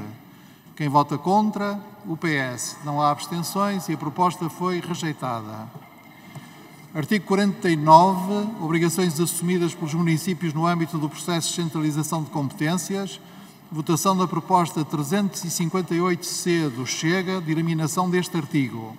Quem vota a favor da proposta? O Chega. Quem vota contra? PS, PSD, PAN e LIVRE. Abstêm-se a Iniciativa Liberal, o PCP e o Bloco de Esquerda e a proposta foi rejeitada. Podemos votar em conjunto todos os números e alíneas deste artigo. Quem vota a favor? O PS e o PAN. Quem vota contra? O Chega, o PCP. Abstém-se o PSD, talvez a, inici... a Iniciativa Liberal, o Bloco de Esquerda e o LIVRE e o artigo foi aprovado. Passamos ao artigo 50, fundos disponíveis e entidades com pagamentos em atraso no subsetor local. Podemos votar o artigo em conjunto? Não podemos. Então, vamos votar. Senhora Deputada Paula Santos. Senhor Presidente, se for útil, por nós podemos fazer a votação do número 1 ao 6 e depois do 7 ao 10. Muito bem, vamos fazer isso, não havendo oposição. Primeiro, votação do número 1 ao número 6 deste artigo 50. Quem vota a favor? PS, PCP e PAN. Quem vota contra? Chega. Abstém-se o PSD, Iniciativa Liberal, o Bloco de Esquerda e o LIVRE. E estes números estão aprovados. Agora do número 7 ao número 10. Quem vota a favor? O PS e o PAN. Quem vota contra? O Chega e o PCP. Abstém-se o PSD, Iniciativa Liberal, Bloco de Esquerda e Livre. E estes pontos, números, foram aprovados. Artigo 51, redução dos pagamentos em atraso. Podemos votar em conjunto. Quem vota a favor? O PS, o Chega e o PAN. Quem vota contra? O Bloco de Esquerda. Abstêm-se o PSD, Iniciativa Liberal, o PCP e o Livre. E o artigo foi aprovado. Artigo 52. Pagamento a concessionários decorrente da decisão judicial ou arbitral ou de resgate de contrato de delegação de, ou concessão. Podemos votar em conjunto? Não podemos. Sra. Deputada Paula Santos, faça lá a sua fratura. Sr. Presidente, A sua, queria- não si própria, mas do do artigo. Se era uma cisão. Senhor Presidente, queríamos votar separadamente a linha B do número 1 e o número 8. Estes dois podem ser em conjunto. Muito bem. Então, de acordo com a proposta da sujeita fraturante, fraturamos desta forma, primeiro todos os números e alíneas, menos a linha B do número 1 e o número 8. Quem vota a favor? PS, Chega e PAN. Quem vota contra? Ninguém. Abstém-se o PSD, a Iniciativa Liberal, o PCP, o Bloco de Esquerda e o Livre, e estes números e alíneas estão aprovados. Agora, em conjunto, os fraturados. Número 1, a linha B, e número 8. Quem vota a favor? PS e Chega. Quem vota contra? PCP. Abstém-se o PSD, talvez a Iniciativa Liberal, o Bloco de Esquerda e o Livre. E agora vamos saber como votou o PAN. O PAN era a favor, Sr. O Presidente. PAN também votou a favor. Esta, a linha B número 1 e o número 8 estão também aprovados. Agora, artigo 53, Fundo de Financiamento da Descentralização e Transferência Financeiras ao abrigo da descentralização e delegação de competências. Votação da proposta 994C do PCP de substituição do número 1 do artigo 53. Quem vota a favor desta proposta? Chega, PCP, Bloco de Esquerda, PAN e Livre. Quem vota contra? PS e PSD. Abstém-se a Iniciativa Liberal e a proposta foi rejeitada. Podemos votar agora em conjunto o artigo. Ah, podemos votar até à proposta do PSD, certo? Portanto, o- não podemos. Então, Sr. Deputado Pedro Pinto, faça favor de indicar como é que quer partir este artigo. Vamos partir até hum, à votação do corpo número 1 do artigo 53. Portanto, de- desde a linha A número 1 do artigo 53 até o corpo número 1 do artigo 53, depois a partir daí será... Muito bem. Então, excluindo o mapa do número 2, quem vota a favor? O PS. Quem vota contra? Chega, PCP, Bloco de Esquerda e PSD. Abstém-se a Iniciativa Liberal, o PAN e o LIVRE e estas, este número 1 foi aprovado. Agora, quanto ao mapa do número 2 do artigo 53, quem vota a... Ah, podemos ir e depois o número 2, o número 3, o número 4, o número 5, o número 6, o número 7 e o número 8. Quem vota a favor? O PS e o PAN. Quem vota contra? O PSD, o PCP e o Bloco de Esquerda. Abstêm-se o Chega, a Iniciativa Liberal e o Livre e estes números 2 a 8 foram aprovados. Ora, vamos votar a proposta 897C do PSD de aditamento de um, de um número 9. Quem vota a favor? O PSD, a Iniciativa Liberal. Quem vota contra? O PS. Abstém-se o Chega, o PCP, o Bloco de Esquerda e o Livre. E a proposta foi rejeitada.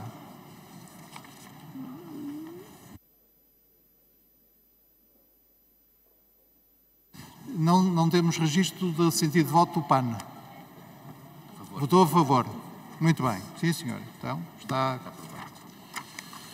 Não, esta proposta do PSD foi rejeitada. O que nós queríamos saber é qual era o sentido de voto do PAN. Agora, a votação da proposta 897C do PSD, aditamento de um número 10. Quem vota a favor? PSD, Iniciativa Liberal e PAN. Quem vota contra?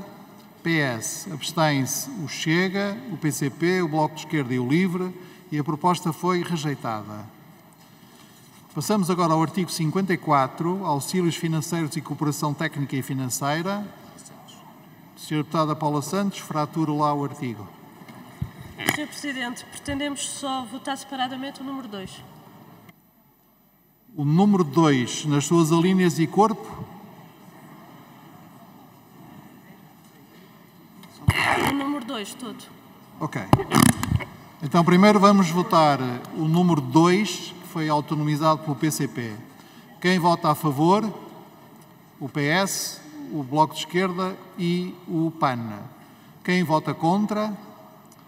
O PCP, a Iniciativa Liberal. Abstém-se o PSD, o Chega e o Livre e o número 2 foi aprovado. Agora o número 1, um, o número 3, o número 4. Quem vota a favor? O PS, o PCP, o Bloco de Esquerda, o PAN e o LIVRE. Quem vota contra? A Iniciativa Liberal. Abstém-se o PSD e o Chega e estes números foram aprovados. Passamos ao artigo 55, Fundo de Emergência Municipal. Votação da proposta 14C do PAN, substituição do número 1. Quem vota a favor? O Chega, a Iniciativa Liberal, o Bloco de Esquerda, o PAN e o LIVRE. Quem vota contra?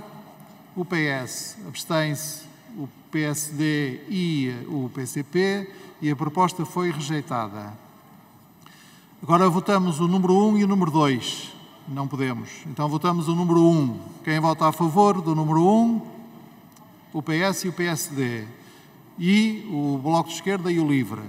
Quem vota contra? O Chega abstêm-se a Iniciativa Liberal, o PCP e o PAN, e o número 1 foi aprovado. Agora vamos votar o número 2. Quem vota a favor? PS, PSD, Bloco de Esquerda, Livre e PAN. Quem vota contra? Ninguém. Abstém-se Chega, Iniciativa Liberal e PCP, e o número 2 foi aprovado.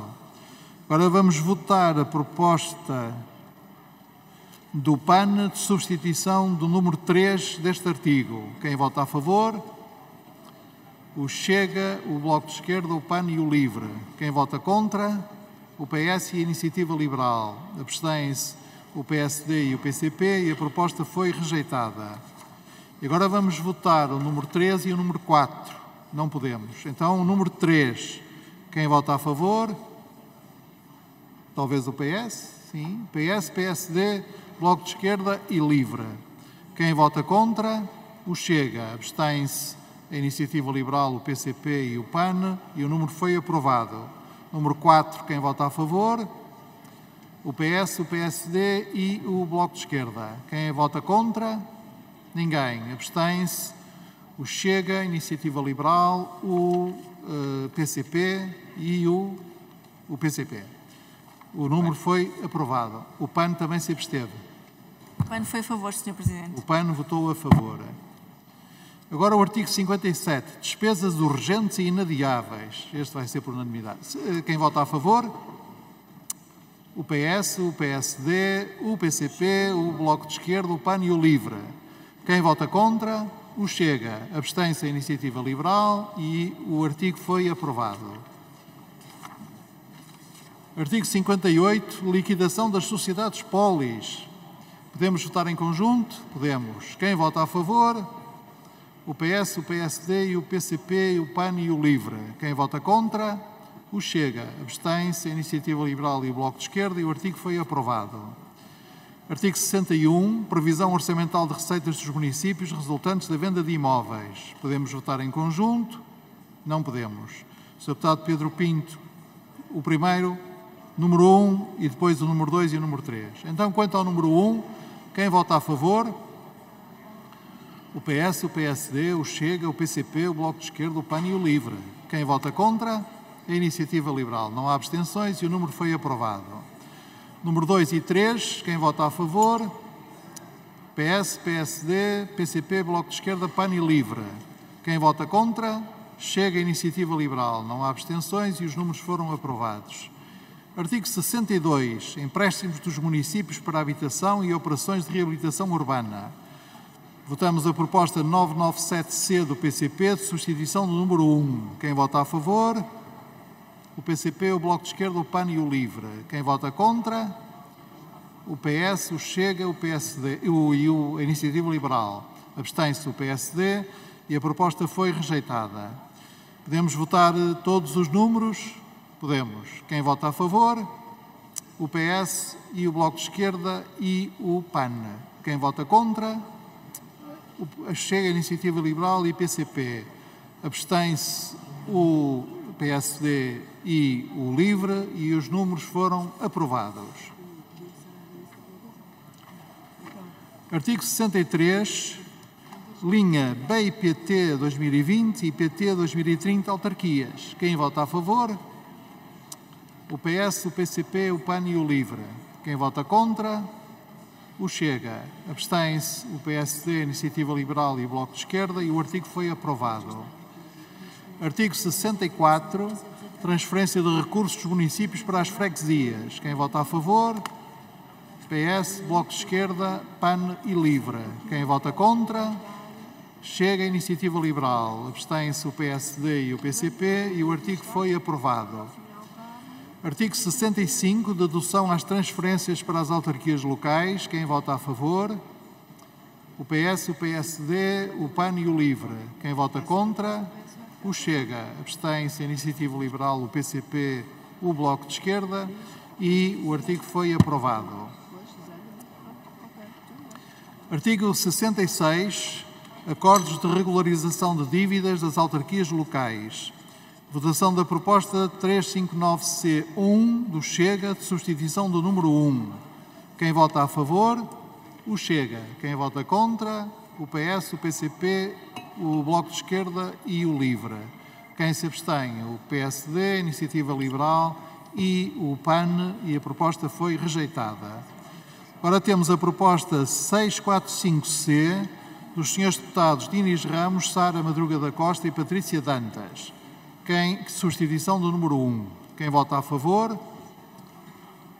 O Chega, a Iniciativa Liberal, o PS, o Bloco de Esquerda, o PAN e o LIVRE e talvez os senhores deputados proponentes, não? Do PSD. Tem que se levantar. Peço imensa desculpa. Sr. Deputada Patrícia Dantas, Sr. Deputada Sara Madruga da Costa e o Sr. Deputado Diniz Ramos, que está ali. Muito bem. Quem vota contra? Ninguém. Quem se abstém? O PCP. Ah, então peço desculpa aos senhores deputados porque eu não me tinha percebido que a, que a vossa bancada tinha votado a favor. Peço desculpa. É porque não tinha que individualizar. Peço desculpa. A proposta foi aprovada. Votação da proposta 985C do PCP. Substituição do número 1 deste artigo 66. Quem vota a favor? O Chega, o PCP, o Bloco de Esquerda, o PAN e o LIVRE. Quem vota contra? O PS e a Iniciativa Liberal. Alguém, quem se abstém? Não há. O PSD. A proposta foi rejeitada. Podemos votar agora os números 1, 2, 3, 4, 5, 6, 6. Até o 6. E 1 até o 6. Quem vota a favor? O PS, o Chega, o Bloco de Esquerda e o Livre. Quem vota contra? Ninguém. Abstém-se o PSD, Iniciativa Liberal e o PCP e o PAN e os, os números foram eh, aprovados. Eu, eu peço aos, aos, colegas que estão a realizar mini reuniões neste plenário que façam favor de realizá-las fora do plenário. Porque o que, é que acontece é que um, eu perco a concentração e cometo erros e não é suposto fazê-lo. Sr. Deputado João Paulo Correia, se bem o identifico, nem, nem se dão conta. Bom, vamos então agora votar os números 7, 8 e 9. Quem vota a favor? Peço desculpa, Sr. Deputado. Sr. Presidente, o, o 7 e o 8 podem ser juntos, o 9 separado. Vamos votar o 7 e o 8. Quem vota a favor? O PS, o Bloco de Esquerda e o LIVRE. Quem vota contra? Ninguém. Abstém-se o Chega, o PSD, o Chega, a Iniciativa Liberal, o PCP e o PAN. E os números 7 e 8 foram aprovados. Agora, quanto ao número de 9, quem vota a favor?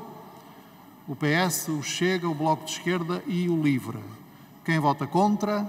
Ninguém. Abstém-se o PSD, a Iniciativa Liberal, o PCP e o PAN. E o número foi aprovado.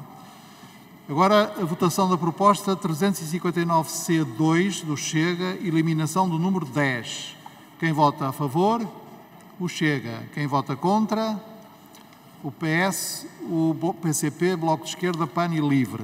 Abstém-se o PSD, Iniciativa Liberal, e a proposta foi rejeitada. Agora, a votação da proposta 985C do PCP, de substituição do número 10. Quem vota a favor? O Chega, o PCP, o Bloco de Esquerda, o PAN e o LIVRE. Quem vota contra? O PS e a Iniciativa Liberal. Abstém-se o PSD e a proposta foi rejeitada. Vamos votar agora o número 10. Quem vota a favor? PS, Chega, Bloco de Esquerda e Livre. Quem vota contra? Ninguém. Abstém-se o PSD, a Iniciativa Liberal, o PCP e o PAN. Disse bem em relação ao PSD? Estamos a votar o número 10 do artigo 66. Sr. Deputado o Carneiro. Abstenção. Abstenção. Abstenção. Muito bem. Está registado. O número foi aprovado. Agora vamos votar a proposta 985C do PCP de substituição do número 11 deste artigo. Quem vota a favor? O Chega, o PCP, o Bloco de Esquerda, o Livre e o PAN. Quem vota contra? O PS e a Iniciativa Liberal. Abstenção do PSD e a proposta foi rejeitada. Podemos votar agora o número 11 e o número 12? Podemos. Quem vota a favor? O PS e o Chega e o Bloco de Esquerda e o Livre. Quem vota contra? Ninguém. Abstém-se o PSD, Iniciativa Liberal, PCP e PAN e estes dois números foram aprovados. Temos agora a proposta 985C do PCP, substituição do número 13. Quem vota a favor? Chega, PCP, Bloco de Esquerda, PAN e Livre também há um certo barulho na galeria que não pode perturbar o andamento dos trabalhos. Peço aos senhores agentes da autoridade o favor de indicarem quem assiste na galeria, assiste em silêncio. Portanto, peço desculpa, vamos ter que repetir. Número 11 e número 12, quem vota a favor? O PS, o Chega, o PCP, o Bloco de Esquerda e o Livre. Quem vota contra? Ninguém. Abstém-se o PSD, a Iniciativa Liberal e o PCP e o PAN e os números estão aprovados. Agora a proposta 985C do PCP substitui... Foi a que eu votei agora. Agora vamos votar o número... Sra. Deputada Paula Santos, era para corrigir uma coisa que eu ia corrigir. Vamos votar agora o número 13 do artigo 66 e o Chega, faça favor. Peço desculpa, mas creio, creio que hum, eh, a última votação foi do artigo 11 e 12. Aliás, do artigo 66, o número 11 e o número 12. E falta, falta fazer a votação de, do PC da proposta de 935 do PCP e depois a votação do número 13. Eu, Sr. Deputada Paula Santos. Presidente, eu pensei que o Sr. Presidente ia corrigir outro aspecto, porque estávamos a votar o 11 e o 12 e o Sr. Presidente fez referência ao PCP a votar a favor e abstenção. Queria clarificar que é abstenção. Ok, muito bem. Então, muito obrigado pela ajuda. Então, vamos votar a proposta 985C do PCP de substituição deste número 13, certo? Quem vota a favor? O Chega, o PCP, o Bloco de Esquerda, o PAN e o LIVRE. Quem vota contra? O PS e a Iniciativa Liberal. Abstém-se o PSD e a proposta foi rejeitada. E agora sim vamos votar o número 13 deste artigo. Quem vota a favor? O PS, o Chega, o Bloco de Esquerda e o LIVRE. Quem vota contra? Ninguém. Abstém-se o PSD, a Iniciativa Liberal, o PCP e o PAN. E o número 13 foi aprovado. Rumamos agora ao artigo 67, aumento de margem do endividamento. Podemos votar em conjunto? Podemos. Quem vota a favor? PS, PSD, PCP, Bloco de Esquerda e Livre. Quem vota contra? Chega. Abstém-se a Iniciativa Liberal e o PAN. E o artigo foi aprovado. Artigo 80A. Votação da proposta. Votação da proposta 982C1 da Iniciativa Liberal, aditamento de um artigo 80A para assegurar a proteção da parentalidade aos profissionais liberais. O, a Iniciativa Liberal pede a votação por pontos. O Sr. Deputado Rodrigo Saraiva, faça favor. Obrigado, Sr. Presidente. Tendo sido solicitado pelo Governo e Partido Socialista que a nossa proposta fosse desagregada, portanto, o artigo 80A votado à parte do outro artigo, dizer que nós não nos opomos e que a votação pode ser feita desagregada na proposta de alteração. Só para toda a gente ter noção, o que é que significa ser desagregado? O Sr. Deputado Eurico Dias quer responder? Eh, Sr. Presidente, é para o mesmo efeito. Eh, a questão é que a, a proposta da Iniciativa Liberal, a proposta de alteração, tem duas alterações. Uma que é o artigo 80A e depois uma que é o artigo 192. Nós só estamos a votar neste momento a primeira parte, o artigo 80A, e é isso que é preciso que fique claro. Muito obrigado. Muito bem, compreendido. Sr. Deputado Rodrigo Sarava, não precisa de intervir. Sr. Deputada Paula Santos, faça favor. Sr. Presidente, havendo desagregação, pedia que esta votação pudesse ser a última das nossas votações hoje. Nenhuma objeção, desde que a Sra. Deputada faça o favor de me lembrar. Então, passamos agora à votação da proposta 1806C do PS, de editamento de um artigo 80A para a renovação do programa Converte Mais. Quem vota a favor? PS, PSD, PS, PSD, PAN e LIVRE. Quem vota contra? Ninguém. Abstém-se. Chega, Iniciativa Liberal, Bloco de Esquerda, e Bloco de Esquerda. O PCP é, vota contra, vota contra e a proposta está aprovada. Passamos agora à proposta 727C do PSD, de aditamento no artigo 81B, alargamento da gratuitidade do acesso e frequência às creches das instituições de ensino superior. Quem vota a favor? PSD, Chega, Iniciativa Liberal, PCP, Bloco de Esquerda, PAN e LIVRE. Quem vota contra? PS. Não há abstenções e a proposta foi rejeitada. Artigo 110-A, eh, proposta do PS, 1716-C, aditamento deste artigo, taxas e emolumentos do ensino superior. Quem vota a favor? PS, PSD, Chega, Iniciativa Liberal e PAN. Quem vota contra? PCP. Abstém-se o Bloco de Esquerda e o Livre e a proposta foi aprovada. E agora então o artigo 80A.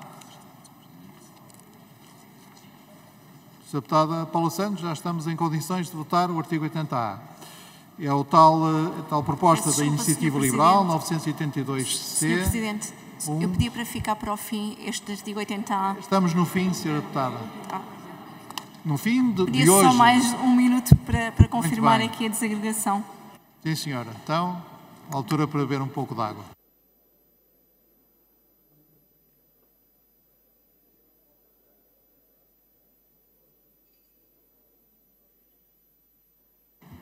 Vamos então votar proposta 982C1 da Iniciativa Liberal, aditamento de um artigo 80A, assegurar a proteção da parentalidade aos profissionais liberais. Quem vota a favor? PS, PSD, Chega, Iniciativa Liberal, Bloco de Esquerda, PAN e LIVRE. Quem vota contra? Ninguém. Abstém-se o PCP e a proposta foi aprovada. Terminamos assim as votações de hoje e passamos ao ponto 3 da ordem do dia. Sr. Deputado Rio Saraiva, ainda no ponto das votações, faça favor. Sr. Presidente, eh, pode ser um preciosismo, mas como nós não alteramos a nossa proposta, penso que o artigo, a alteração ao artigo 192 tem que também ser votado. Não? É um preciosismo. É votado quando, quando for votado o 192. Muito bem, vamos, vamos dar um, um tempo aos especialistas. Sr. Deputada Jamila Madeira, Sr. Deputado Eurico Brilhante, faça favor. O, o, a proposta do, da Iniciativa Liberal, peço desculpa, a proposta da Iniciativa Liberal versava dois artigos, o artigo 80A e o artigo 192A. O guião já, já era construído assim, ou seja, quando estamos a votar o artigo 80, o 80A surge com a parte, com a proposta de alteração na parte que corresponde ao 80A. A parte, por isso é que é 1 e agora há de surgir a vossa proposta 2 no 192A. Sim, sim. Quando for. Obrigado. Quando a for. interpretação da mesa, para que fique registado, é que a partir do momento em que a proposta da Iniciativa Liberal foi aprovada, nós criamos um artigo 80A e, portanto, não vale a pena votar, porque seria uma redundância. Vamos então iniciar, continuar a discussão na especialidade da proposta de lei do Orçamento de Estado. Sim. Agora deve haver umas inscrições. Senhor Presidente, Ah, Sr. Deputado Coelho Lima. se me permitisse, queria eh, manifestar que não estou registado. Cheguei aqui para me registrar 30 segundos depois de ter terminado o- a verificação de quórum. Muito obrigado. Sr. Presidente. Faça favor, Sr. Deputado José Carlos. Sr. Presidente, é para dizer que também não fiz registro. Sr. Presidente. Sr. Deputado, faça favor. Ah, Sr. Presidente, eh, é para dizer a mesma coisa, mas o Sr. Presidente sabe que eu estava aqui às 10 horas porque intervi e falei do texto do algodão. Mas por motivos que Muito já bem. fiz chegar à mesa, não estava no momento da- da- do registro. Obrigado. Pois bem, Srs. Deputados, a esta hora não vamos. Ah, Sr. Deputado João Nicolau. Sr. para o mesmo Presidente, efeito. para o mesmo Bom, efeito. Muito obrigado. Portanto, não vamos aqui discutir o conceito de limiar Sr. Presidente. estatístico e como prémio para a paciência que é a qualidade política mais importante nestes dias de discussão na especialidade e votações em plenário. eh, A mesa registra essas quatro. Sr. Presidente. Estamos. Sim. Sr. Deputado. Para o mesmo efeito. Para o mesmo efeito. Muito Obrigado. bem. Pronto. Podemos agora iniciar eh, o número 3 da nossa ordem do dia? Podemos. Muito bem. Então, sob o artigo 111-A, reforço da ação social escolar no ensino público obrigatório, proposta do PCP, vai intervir o Sr. Deputado Alfredo Maia, desse grupo parlamentar. Faça favor. Peço silêncio a todos.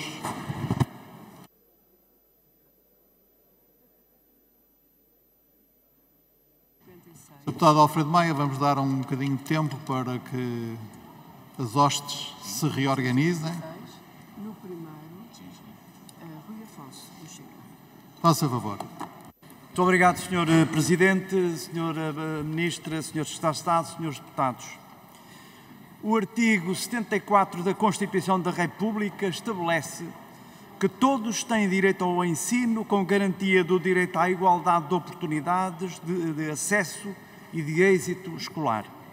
A ação escolar é um instrumento através do qual o Estado garante essa igualdade e por isso o PCP o valoriza. Com a degradação galopante das condições de vida das famílias, mais imperioso se torna reforçá-lo. E por isso voltamos a apresentar propostas e por isso voltamos a apresentar propostas para a alteração dos escalões da ação social escolar, abrangendo um maior número de estudantes, para o aumento dos valores da comparticipação do material escolar, a gratuitidade das refeições, da fruta do- e do leite escolares para todos. Para todos devem ser igualmente gratuitas as visitas escolares. Nenhum aluno pode ser excluído da possibilidade de aceder a espaços, lugares e realizações e deles fruir em condições de igualdade. É também assim que se promove a equidade. E é também por isso que propomos a garantia da aquisição gratuita do material escolar e das fichas de exercícios que continuam a onerar as famílias. Em relação ao ensino superior, gostaríamos também de falar das propinas, das taxas e dos emolumentos. Porque é dever do Estado assegurar a todos o acesso aos diversos graus do ensino superior, o PCP insiste na proposta de eliminação das propinas e não da sua regulação, Sr. Secretário de Estado, das taxas e dos emolumentos. Uma condição essencial para a democratização do ensino superior é a garantia de alojamento para os 119 mil estudantes deslocados. O Governo deve assegurar a execução da melhoria do Plano Nacional de Alojamento Estudantil, aliás, fruto de uma proposta do PCP.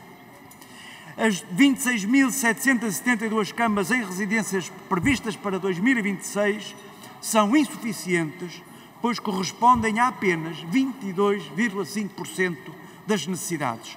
Ora, por isso, o PCP propõe o reforço do financiamento do plano até 2026 para 447 milhões de euros, além dos 70 milhões anunciados neste ano, e a identificação dos imóveis e equipamentos públicos que possam ser mobilizados na criação de residências. No plano de ação social escolar no ensino superior, o PCP defende o aumento do, do complemento do alojamento, o alargamento dos critérios de acesso às bolsas, abrangendo naturalmente mais estudantes, o alargamento da bolsa automática aos estudantes nos cursos técnicos superiores profissionais e ainda a garantia do fornecimento da refeição social em todas as cantinas e a fixação do preço da refeição nas cantinas do ensino superior. Muito obrigado.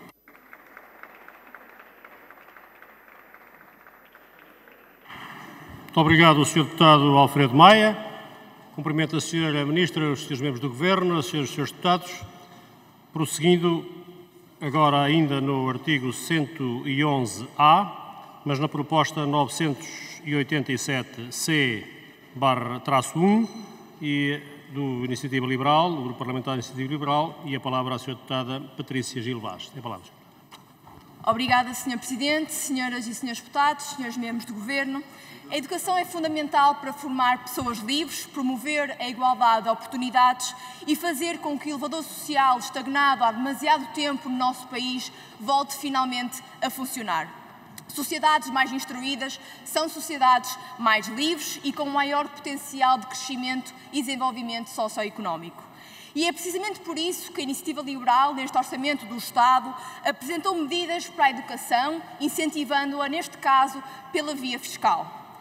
A proposta de alteração que gostaria de destacar é aquela que representa uma exoneração fiscal do custo da educação, porque, na verdade, a educação é sempre um investimento. Propomos aumentar os limites da dedução das despesas de educação no IRS de 800 para 900 euros para evitar um aumento fiscal encapotado. Propomos aplicar esse limite por cada membro do agregado familiar para não prejudicar famílias com mais filhos ou cujos adultos investam na formação. Propomos aumentar as deduções do arrendamento estudantil no ensino superior para aliviar as famílias com filhos deslocados. Para a iniciativa liberal, a educação é ainda mais essencial para os alunos mais vulneráveis, precisamente por esta ser uma das poucas vias que lhes abre as portas à mobilidade social. Foi por isso que apresentamos uma outra proposta para alargar a ação social escolar, essencial para garantir a igualdade de oportunidades nesta altura de agravamento das situações financeiras de várias famílias. Para a iniciativa liberal, a educação deve centrar-se no aluno, independentemente da natureza da escola que este frequente. Por isso, propomos que o Estado atualize os apoios financeiros às escolas privadas fixados há demasiados anos. Infelizmente, ainda muito a fazer para garantir, por um lado, uma educação centrada nos alunos, com maior autonomia administrativa, financeira e pedagógica para as escolas e uma real liberdade de escolha para as famílias, e, por outro lado, uma educação que visa garantir uma igualdade de oportunidades para a aprendizagem dos alunos e que lhes dê as bases para um futuro promissor num contexto socioeconómico em constante mudança. Esta é a visão da iniciativa liberal. Definitivamente uma visão muito diferente da visão miserabilista do governo do Partido Socialista. Em oito anos de Partido Socialista, assistimos a quatro anos letivos de disrupções no funcionamento das escolas, greves dos professores e alunos sem aulas, falhas nas recuperações das aprendizagens, escassez dos professores e aumento da procura por vagas em colégios privados e em centros de explicações para apoio à aprendizagem. Para a iniciativa liberal, a educação pode e tem de ser um espaço de formação de qualidade para todos, de acesso garantido a todos e criadora de hum, cidadãos autónomos, ao mesmo tempo que é um espaço de realização pessoal para todos aqueles que nela trabalham e dão o melhor de si todos os dias. Enquanto esta for uma visão de exceção e não a regra, o Estado está a falhar e será responsável pelo falhanço na qualificação das próximas gerações que vão ver os seus sonhos adiados por incompetência do Partido Socialista. Senhoras e senhores deputados, a iniciativa liberal quer mais, os portugueses querem, querem, merecem melhor. Muito obrigado, Sra. Deputada Patrícia Gil Vaz. Ainda no âmbito do artigo 111-A, agora a proposta 1119-C do Bloco de Esquerda e a palavra à Sra. Deputada Joana Mortágua. Obrigada, Sr. Presidente. Eu fiquei, acho que esclarecida, quando há pouco o Secretário de Estado da Educação disse que o único problema que havia na escola pública era alguns alunos que não têm aulas por falta de professores. Nós deixámos de reconhecer um problema estrutural de falta de professores em Portugal para minimizá-lo como alguns alunos com falta de aulas. E isso explica muita coisa. Explica, por exemplo, que o Governo tenha recusado até agora reconhecer como professores docentes que estão contratados como técnicos especializados, mas que deveriam estar contratados como professores, como o Bloco de Esquerda propõe, isso explica porque é que o grande plano para o alojamento de professores deslocados até agora do Governo, o que incluía era 29 casas, 29 casas para professores deslocados foi o grande plano do Governo para resolver o problema, quando os professores são os únicos funcionários públicos a quem é pedido e obrigado, porque o Governo obriga os professores a deslocar-se, nomeadamente se se querem vincular a deslocar-se pelo país inteiro, os únicos funcionários públicos a que, não, a que não é reconhecida uma compensação por essa deslocação. E é isso que o Bloco de Esquerda vem aqui propor, uma compensação para professores deslocados em transportes e em habitação, além da recuperação do tempo de serviço. Mas não é apenas isso, queremos também reconhecer direitos a assistentes operacionais que não são trabalhadores e diferenciados e que deveriam ter direito à sua carreira de, que já foi uma carreira de técnicos de ação educativa, de auxiliares de ação educativa, já tiveram vários nomes e que a devem poder recuperar e também um reforço na contratação de psicólogos, porque nem só de professores faz a escola, todos os profissionais da educação são importantes. Muito obrigado, Sr. Deputada Joana Mortágua. Ainda no artigo 111-A, agora a proposta 1302-C do PCP. A palavra à Sra. Deputada Paula Santos. Tem a palavra, Sra. Deputada.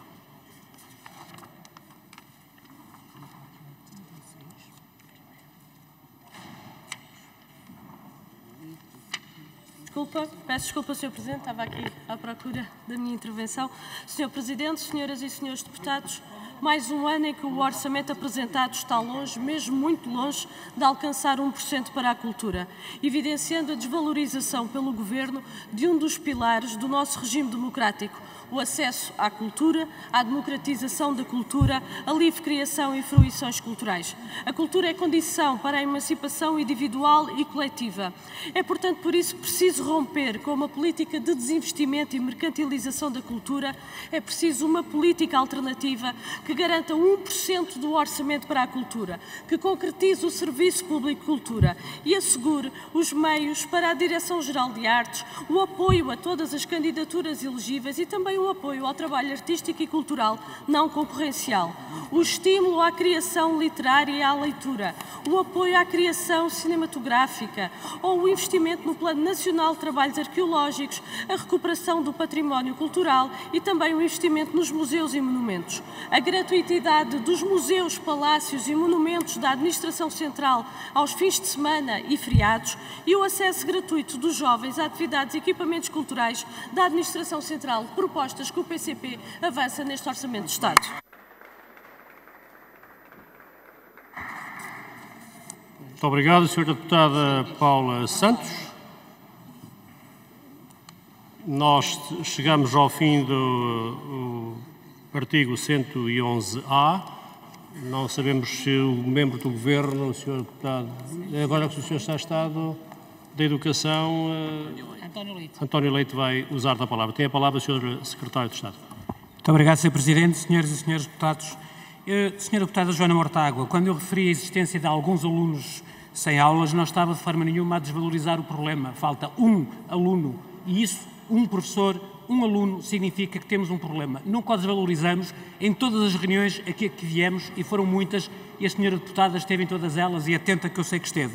Agora, o que não é verdade é aceitar alguns dos números que foram avançados ao longo destes meses, de que seriam 120 mil, 80 mil, 40 mil, eram os números mais dispares, em alguns casos chegaram a ir até à unidade. E foi isso exatamente que eu tentei explicar que não estava a acontecer. A vinculação dos técnicos que estavam nas escolas artísticas Soares Reis e António, e António Arroio ocorreu já e ocorreu como docentes. A vinculação dos técnicos superiores que estão espalhados pelas nossas escolas e que são absolutamente necessários está a ocorrer, como a senhora deputada, aliás, bem sabe. E também, como certamente está, sabe, porque está atenta, ainda ontem o Governo apoiou o apoio às rendas para os professores, como também já aqui referi, que se deslocam para as regiões de Lisboa e Val do Tejo e para as regiões, a região do Algarve. É preciso, de facto, estar atento e ser sério na discussão que aqui estamos a ter. Obrigado, Sr. Secretário de Estado. Não registramos pedidos de esclarecimento e, por isso, passamos para o artigo 113-A. Temos a proposta 316-C do Chega e a palavra ao Sr. Deputado Pedro Frazão. Tem a palavra, Sr. Deputado. Muito obrigado, Sr. Presidente, Srs. Deputados e Srs. Membros do Governo. Srs. Deputados, o Chega traz para este Orçamento de Estado centenas de propostas que visam melhorar o nosso SNS, que está este mês no, no seu pior mês de sempre. Mas hoje escolhemos eh, destacar aqui a proposta 316, entre dessas dezenas que temos, porque em Portugal, Srs. Deputados, hoje vão suicidar-se três de nós. É verdade. Três pessoas por dia suicidam-se em Portugal e continua a existir a falta de coragem para nós embatermos de frente com a saúde mental dos portugueses e o que parece mesmo é que os senhores deputados aqui nesta Câmara não querem saber deles. E porquê?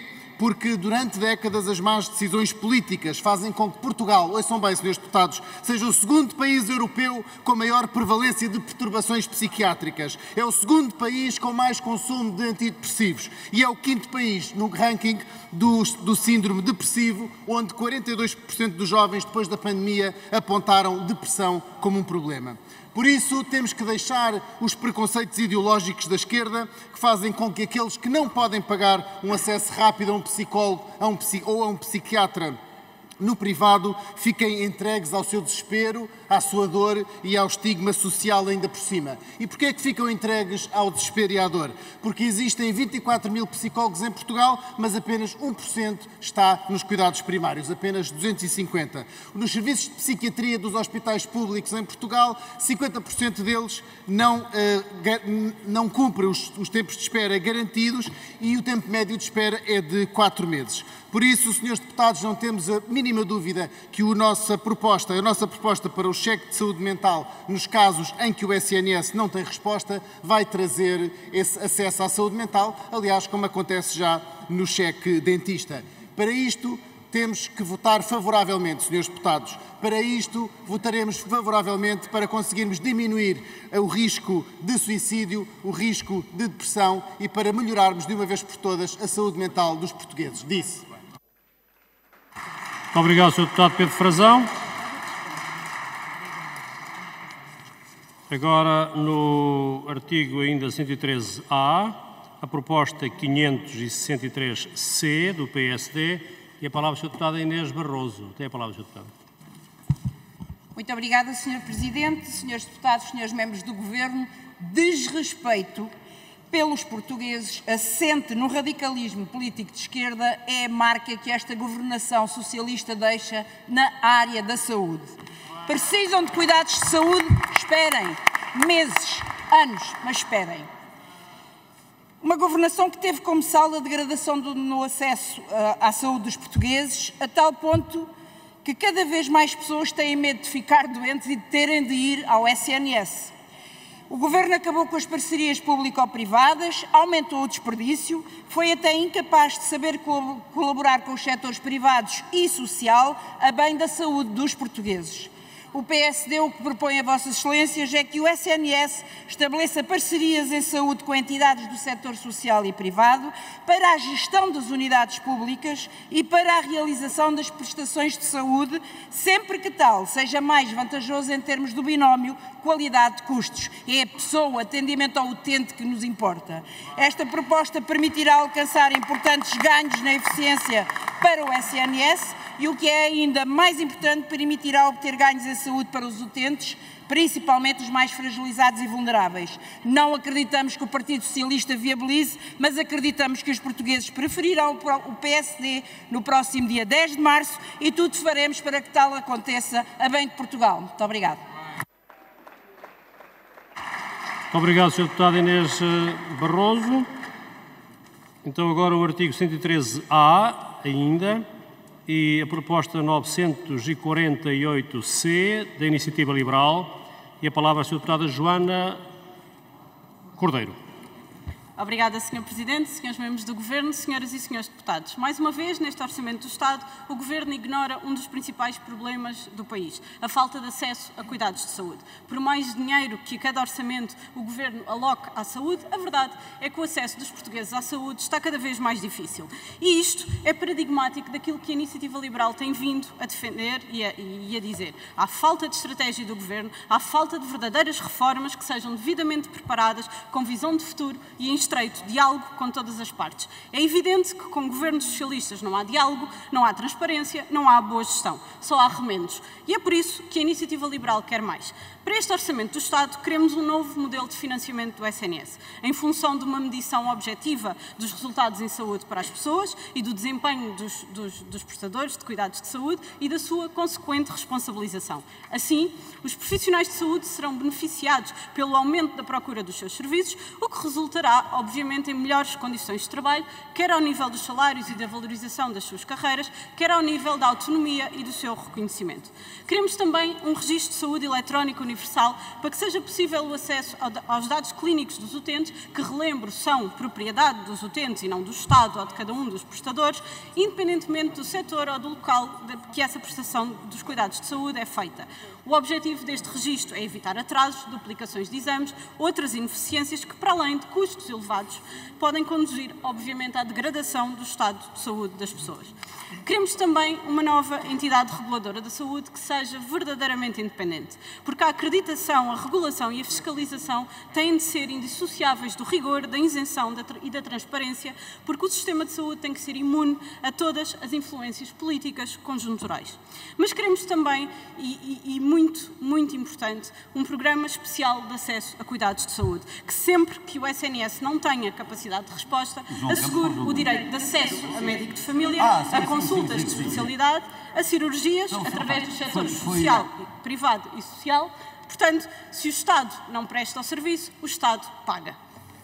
Sobre isto, e gostava de destacar, soube-se que o Governo irá celebrar um acordo com a Santa Casa da Misericórdia que vai dar médico de família a cerca de 30 mil utentes. Eu pergunto, isto é uma medida curta, é uma medida, se vão continuar a haver mais de 1 milhão e 600 mil pessoas sem médico de família. E é uma medida que peca por tardia. Mas há aqui uma parte positiva, que de facto é, esta proposta já foi apresentada várias vezes pela Iniciativa Liberal, tem sido sistematicamente chumbada, mas isto demonstra que as ideias liberais estão a fazer o seu caminho, só é pena que se demore tanto, porque o atraso prejudica todas as pessoas que precisam de cuidados de saúde. Portanto, Sr. Presidente, Srs. Membros do Governo, Senhoras e, e Srs. Deputados, estas são as nossas propostas para o Orçamento de Estado, porque para o futuro a Iniciativa Liberal já apresentou o seu modelo de saúde, o Sua Saúde, que prevê precisamente que as pessoas possam aceder, sem custos adicionais, ao prestador de cuidados de saúde que lhes for mais conveniente. Isto sim é liberdade de escolha e um acesso à saúde verdadeiramente para todos. Foi rejeitado por este Parlamento, mas na Iniciativa Liberal nós não desistimos. E não desistimos das pessoas, e não desistimos de dar mais cuidados saúde das pessoas. Por isso, esta nossa ambição vai obviamente continuar a constar do nosso programa eleitoral, porque cada voto na iniciativa liberal é um voto no acesso à saúde das pessoas.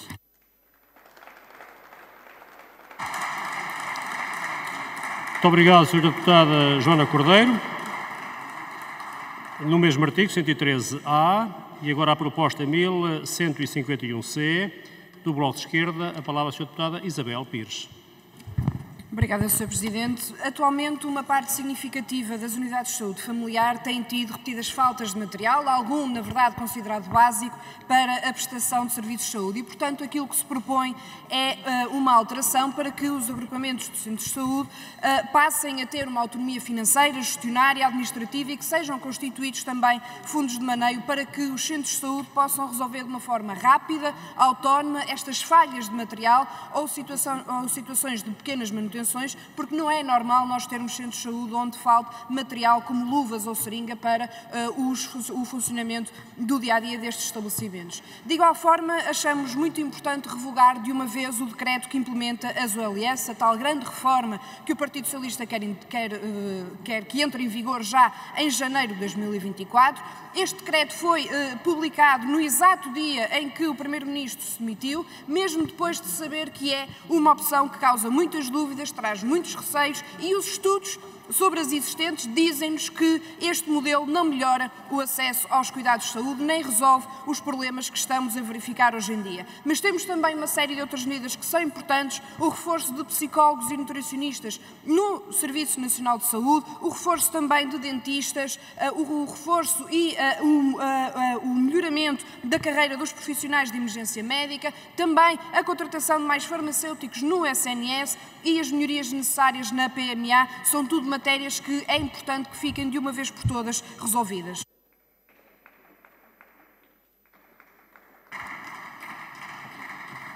Muito obrigado, Sra. Deputada Isabel Pires. Agora, ainda no artigo 113C, a proposta 1748C do Partido Socialista e a palavra à Sra. Deputada Susana Correia. Obrigada, Sr. Presidente, Sra. Ministra, Srs. Membros do Governo, Senhoras e Srs. Deputados. No programa do Governo e vertido neste Orçamento de Estado, a doença oncológica foi definida como uma das principais prioridades para os próximos anos. O objetivo é tratar cada vez melhor os doentes oncológicos, diminuindo a mortalidade associada à doença e aumentando a qualidade de vida dos doentes, apostando na prevenção. Com base nos dados recentemente disponibilizados, Portugal sai-se honrosamente comparativamente com os países da União Europeia no que respeita às taxas de sobrevivência há cinco anos. O desempenho de Portugal é superior à média da União Europeia. A qualidade dos cuidados oncológicos em Portugal melhorou nos últimos anos. Deve-se a um melhor rastreio de base populacional, à melhoria dos, dos cuidados oncológicos e ao acesso a tratamentos inovadores. Portugal desenvolveu um excelente trabalho na criação da Estratégia Nacional de Combate ao Cancro, em linha com a Estratégia Europeia.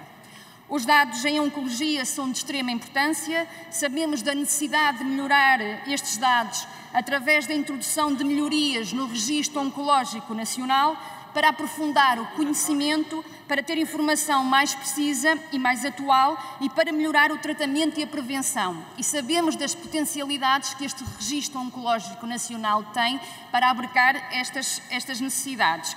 Apresentamos esta proposta como uma melhoria deste registro para aumentar a cobertura que podemos fazer nos rastreios de base eh, populacional para aumentar a adesão a estes rastreios e podermos alargar a outros tipos de cancro. Consideramos esta uma proposta muito relevante, em linha com o que o Governo está a fazer, passos fundamentais para responder aos pilares da estratégia de combate ao cancro e prosseguir um caminho de melhoria nesta área. Muito obrigada.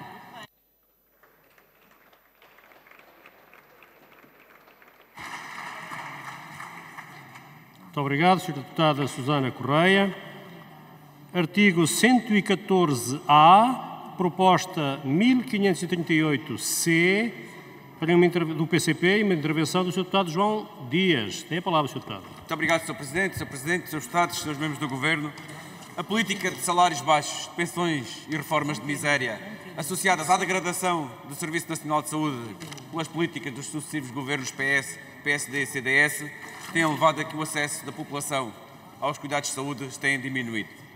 E, em particular, áreas tão sensíveis como são as áreas da visão, da audição, as áreas da saúde oral, que a resposta é praticamente inexistente em termos de prevenção e muitas delas também em termos de tratamentos, está praticamente toda ela entregue à iniciativa privada. Por isso, o PCP apresenta uma proposta com um regime de apoio financeiro, uma comparticipação na aquisição de óculos e lentes, de próteses dentárias, de, aparelhos auditivos, bem como de calçado ortopédico. Uma proposta que tem como objetivo assegurar o acesso a esses bens essenciais nestas áreas tão carenciadas. Mas também queremos destacar uma área muito importante, tem a ver também com a insuficiência económica, nomeadamente para quem precisa de escolher entre os alimentos que precisa para a sua alimentação, o, a verba que não chega para pagar a casa e os medicamentos que precisa para os seus cuidados de saúde. Nomeadamente, o PCP apresenta também uma proposta em que garantimos que seja uh, apoiado, uh, ou melhor, que seja gratuita a medicação uh, aos, aos, doentes crónicos, aos doentes com insuficiência económica e aos utentes com mais de 65 anos. Muito obrigado, Sr. Deputado João Dias. O artigo 117A é agora a nossa paragem. E temos aqui a proposta 665C do Chega e a palavra ao Sr. Deputado Bruno Nunes. Muito obrigado, Sr. Presidente. O Chega, em, em vésperas da celebração daquele que considera o verdadeiro dia que veio repor a liberdade, 48 anos depois do 25 de novembro, vem tentar colocar também uma justiça, uma promessa populista por parte do Partido Socialista e também do Partido Social Democrata, que ao longo de 30 anos adiou por completo a construção do Hospital Oriental de Lisboa. O que nós vimos é colocar definitivamente prazos, porque já tivemos prazos de adjudicação, prazos de início de obra, prazos de conclusão, já vimos notícias que adjudicado em 2022 seria em 2024, em 2027, e o que pretendemos é que no início de 2024 as obras se iniciem. O que pretendemos também é que sejam concluídas as obras relativas a todos os hospitais, não apenas ao Hospital Orientado de Lisboa, mas também ao Hospital Central do Algarve, ao Hospital do Seixal e ao Hospital do Oeste. Portanto, que de uma vez por todas resolvam estas situações. Sabemos que nos livros, por norma, os ciclos políticos concluem, pelo menos no nosso. O vosso ciclo no nosso livro terminou. Eu sei que nos vossos livros não é bem de ciclos, é mais de notas que se fala. De uma vez por todas, concluam os trabalhos e concluam aquilo que é a taxa de execução concreta dos orçamentos de Estado, porque não adiantam promessas confeitas meramente por populismo. Muito obrigado, Sr. Deputado Bruno Nunes. Dou agora a palavra ao Sr. Secretário de Estado da Saúde, o Sr. Secretário de Estado Ricardo Mestre, para uma intervenção. Tem a palavra Sr. Secretário de Estado. Muito obrigado, Sr. Presidente. Senhoras e senhores deputados, é só mesmo para destacar o valioso contributo que o Orçamento de 2024 traz para consolidar a reforma em curso no Serviço Nacional de Saúde. Uma reforma que passa por uma nova organização, passa por um novo modelo de gestão que, este orçamento permite, com uma maior autonomia de gestão dentro do Ministério da Saúde, que passa por mais financiamento e que passa também por um reforço do investimento. Tudo isto é possível através do trabalho que tem vindo, a ser desenvolvido. Tudo isso o Orçamento de 2024 potencia e tudo isto é traduzido em medidas muito concretas. Só para referir o investimento, nós teremos em curso este e no próximo ano um mais ambicioso plano de reequipamento de equipamentos hospitalares do SNS, 80 novos equipamentos médicos pesados de uh, ressonância magnética, taques, uh, robôs cirúrgicos, é o maior investimento de sempre em equipamento médico pesado no SNS, isso é possível através dos fundos comunitários, 117 milhões de euros que o PRR permite aplicar nestes 80 equipamentos que permitirão trazer para o país o que de melhor existe no mundo de tecnologia ao serviço dos profissionais, ao serviço das pessoas. É assim que se reorganiza o SNS, é assim que se reforça o SNS e é isso que nós estamos a fazer. Muito obrigado, Sr. Secretário de Estado da Saúde, Ricardo Mestre. Concluímos aqui o capítulo da saúde, entramos no capítulo dos transportes e estamos já no artigo 119A e concretamente na proposta 21C do LIVRE. E o Sr. Deputado Rui Tavares está sempre atento a estas coisas, tem a palavra para uma intervenção. Muito obrigado, Sr. Presidente, eh, senhoras e senhores membros do Governo, caras e caros colegas. O ano passado, o LIVRE propôs o passo ferroviário nacional e a primeira resposta que tivemos por parte do Governo foi de que seria impossível. No entanto, havia caminho para andar não era caminho em estrada, era caminho mesmo em linha férrea, e esse caminho fez-se até ao passo ferroviário nacional nos comboios regionais. O que quer dizer que as pessoas hoje, em Portugal, são livres para andar em comboios regionais onde quiserem no país, nas linhas que existem, a qualquer dia da semana ou do fim de semana para irem para o trabalho, para viajarem com a família, pagando 49 euros por mês. Representa uma poupança para quem anda em comboios regionais no Algarve ou do entroncamento a Lisboa de muitas dezenas de euros. E o problema é precisamente este que o senhor deputado João Dias está a mencionar. É que não é suficiente porque comboios regionais têm uma cobertura muito diminuta no nosso país. Significa isto que tem que haver mais caminho para andar. E esta é a proposta que o LIVRE faz e estamos à espera da resposta por parte do Governo. Se é estender aos interregionais, aos suburbanos, aos urbanos, aos intercidades, a todos os comboios que façam, tenham obrigações de serviço público. E, portanto, venho aqui relembrar mais uma vez que esta é uma medida de coesão, que é uma medida de combate às alterações climáticas e que é uma medida de poupança anti-inflacionária que dá liberdade às pessoas para fazerem muito mais com menos dinheiro. Senhores e senhoras membros do Governo, a palavra está do vosso lado, vamos lá ver se há mesmo caminho para andar. Muito obrigado. Muito obrigado, Sr. Deputado Rui Tavares. Ainda no capítulo dos transportes, eh, proposta, as propostas 1760 e 1737 do Partido Socialista e a palavra ao Sr. Deputado Hugo Oliveira, do Partido Socialista. Muito obrigado, Sr. Presidente, Senhoras e Srs. Deputados, Senhores Membros do, do, do Governo, apresentando desde logo a proposta 1737, a criação de um cartão de mobilidade para o ano de 2024. Com isto, eh, eh, pensamos estar a aumentar a utilização de uma mobilidade sustentável, com as empresas a comparticipar, junto dos seus trabalhadores, essa mesma mobilidade. Com isto que tentamos conseguir não só uma maior utilização, mas também um aumento de rendimento para os trabalhadores, sendo certo que as empresas terão que ter incentivos, nomeadamente fiscais, para a implementação deste, deste cartão. Com isto e com uma maior utilização, teremos certamente ganhos do ponto de vista ambiental, do ponto de vista energético, do ponto de vista económico. Quanto à proposta 1760, nomeadamente a, a, a criação do, do programa a, Incentiva mais, mais PT, este é um programa que visa substituir o PART e o, e o e o, e o PRO Transportes, o parte podemos falar daquele que foi, sem dúvida, o maior programa, a maior reforma na utilização dos transportes públicos. O programa esse criado naquele que foi o primeiro governo de António, de António Costa, que muitos apelidam de não fazerem reformas, mas estão bem aqui. Uma das grandes reformas que fizemos dos transportes públicos, nomeadamente com o apoio do PCP, com o apoio do Bloco de Esquerda e que voto contra do PSD, com o voto contra da direita. Com este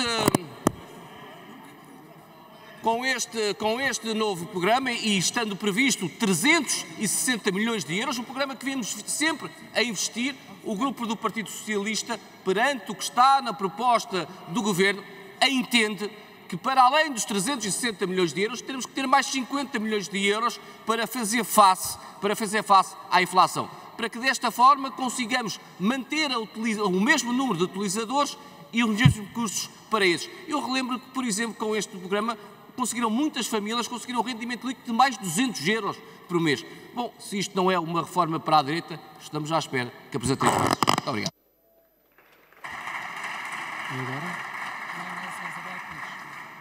Muito obrigado, Sr. Deputado Oliveira.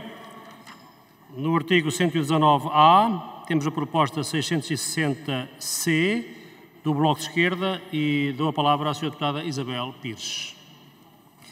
Sr. Presidente, o Partido Socialista, ao longo dos últimos anos, tem vindo a prometer o fim das portagens nas ex-escute, mas a verdade é que, verdadeiramente, essa promessa tem ficado por cumprir. A Ministra da Coesão Territorial bem pode dizer, às vezes que quiser, que ela pessoalmente até concorda que, uh, com o fim destas portagens, porque isso, na verdade, não tem valido muito às populações que continuam, na verdade, a ter de as pagar. E, portanto, falar de coesão territorial não pode ser só mesmo isso. Falar é preciso preciso concretizar e o fim das portagens nas ex-scoot é um ponto de partida fundamental porque estar a penalizar populações que para trabalhar ou até neste momento para se deslocarem a hospitais que, porque o seu está fechado e tem que ir até mais longe, têm que pagar portagens é injusto. E mais injusto porque falamos de zonas em que a oferta ferroviária, como nós sabemos, é muito escassa ou praticamente inexistente, para não falar de outras formas de transporte coletivo. E, portanto, é tempo de fazer cumprir aquilo que tem vindo a ser prometido e responder pelas populações e pela economia do interior do país. Muito obrigado, Sr. Deputado Isabel Pires, para uma intervenção no âmbito ainda do capítulo dos transportes. Uh, palavra à Sra. Deputada Berta Nunes, do Partido Socialista. Muito obrigada, Sr. Presidente. Sr. Presidente, senhor, senhoras e senhores deputados. Este é um orçamento que reforça a coesão territorial e combate o despovoamento dos territórios do interior. A diminuição das portagens nas autoestradas do interior e Algarve em 30% face aos preços atuais e de 65% face às tarifas de 2011 é uma medida importante para a redução dos custos de contexto das empresas sediadas no interior e para facilitar a mobilidade de quem vive nestes territórios. O Plano Ferroviário Nacional, que devia vir em breve a esta Assembleia da República em circunstâncias normais e já esteve em discussão pública, prevê investimentos na ferrovia no interior que durante muitos anos estiveram parados e que urge retomar. Dois exemplos muito importantes para a região norte e interior são a ligação ferroviária Porto-Bragança-Zamora e a ligação entre Pocinho e Barca d'Alva, que já tem o concurso lançado para a execução do projeto e que esperamos que continue a obra com os futuros governos. Estes investimentos na ferrovia, após longos anos de paragem, significam uma nova esperança para o desenvolvimento das regiões do interior e a sua ligação à Europa. Este orçamento tem também, não nos transportes, mas na conectividade, uma 172 milhões de euros até 2030 para eh, aumentar a conectividade digital, que é muito relevante para os territórios do interior, com grandes falhas e existências nesta área.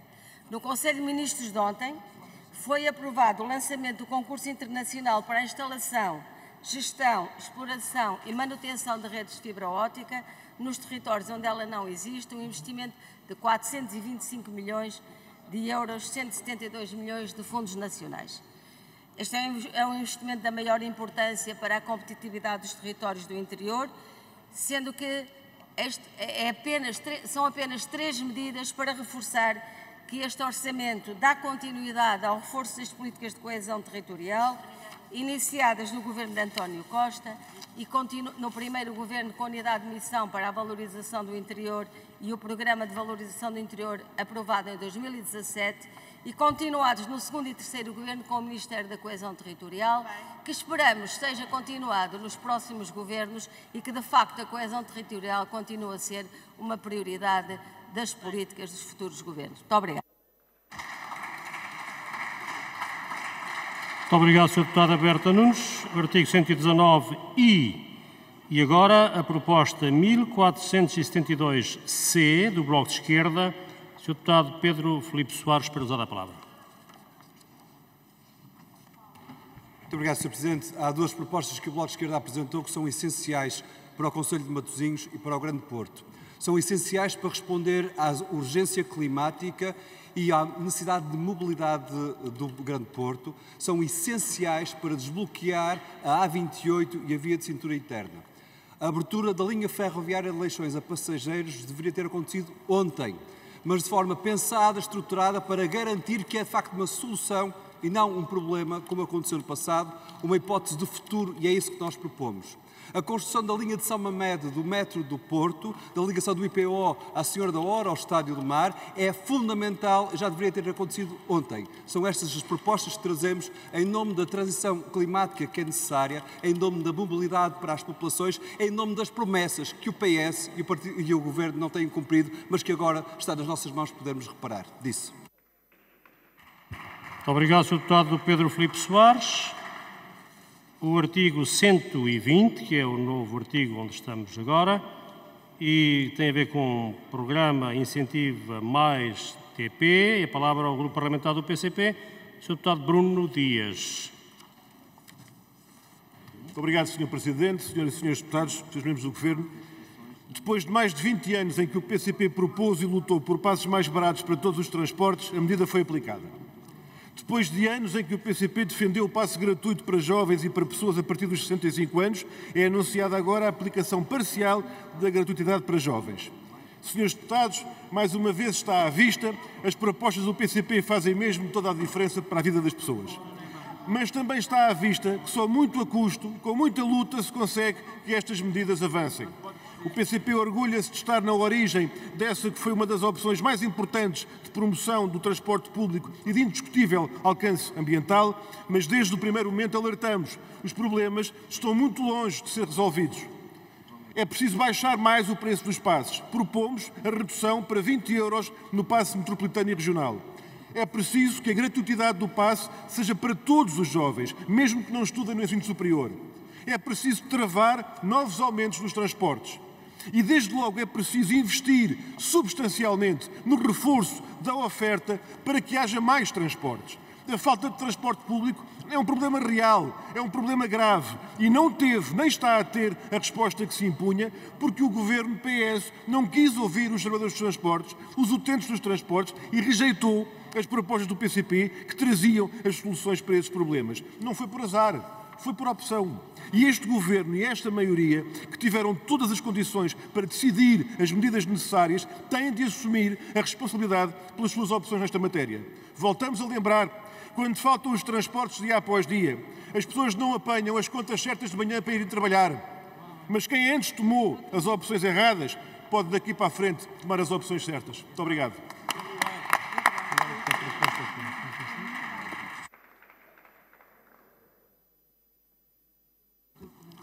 Muito obrigado, Sr. Deputado Bruno Dias. No artigo ainda 120-A, temos a proposta 870 do PSD e a palavra ao Sr. Deputado Jorge Mendes.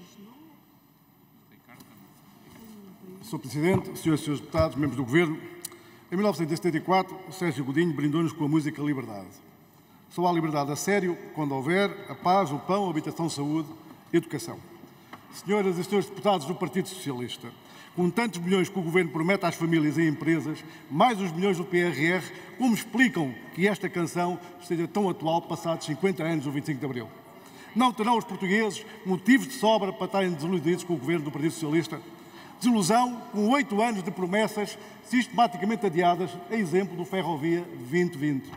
Desilusão com um Governo que dá sinais contraditórios ao setor ferroviário ao permitir a aplicação de portagens no acesso ao, dos comboios ao Porto de Sines e, simultaneamente, o agravamento da taxa de uso de infraestruturas ferroviárias para 2024. Desilusão com o Governo que mantém a injustiça territorial na distribuição das verbas do PARTE, o Programa de Apoio à Redução Tarifário, onde 80% das verbas ficam em Lisboa e no Porto. Senhoras e senhores deputados, urge corrigir esta injustiça com o respectivo reforço orçamental em 2024 e outras medidas de promoção da coesão territorial, a exemplo da proposta do PSD de alargamento do passo ferroviário nacional aos comboios interregionais, sem agravamento de custos nem para os operadores, nem para o Orçamento de Estado para 2024, para verdadeiramente não deixarmos ninguém para trás, disse.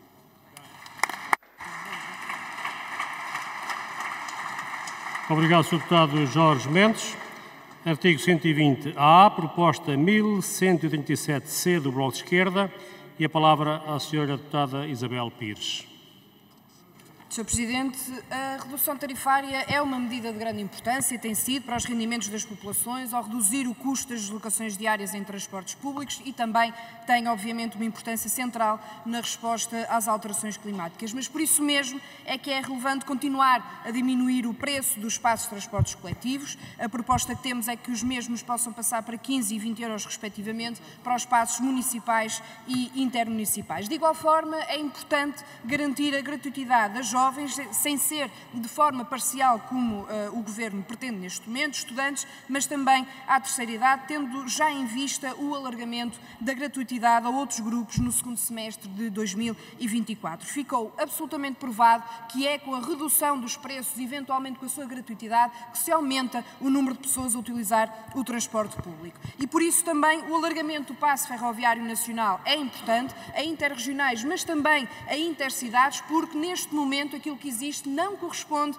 a cada vez mais movimentos pendulares entre casa e trabalho que atravessam várias áreas intermunicipais e, portanto, é preciso responder a essa população. Por último, é preciso também articular os transportes públicos com a utilização de outros modos de mobilidade, como seja as bicicletas, e incentivar também os municípios a alavancarem programas de partilha de bicicletas, daí também as propostas que temos em cima da mesa. No meio disto tudo e além de tudo isto, é preciso continuar a reforçar de forma efetiva não só a parte tarifária, mas absolutamente essencial a parte da oferta e do investimento público que tantas vezes está atrasado no nosso país no que toca à ferrovia.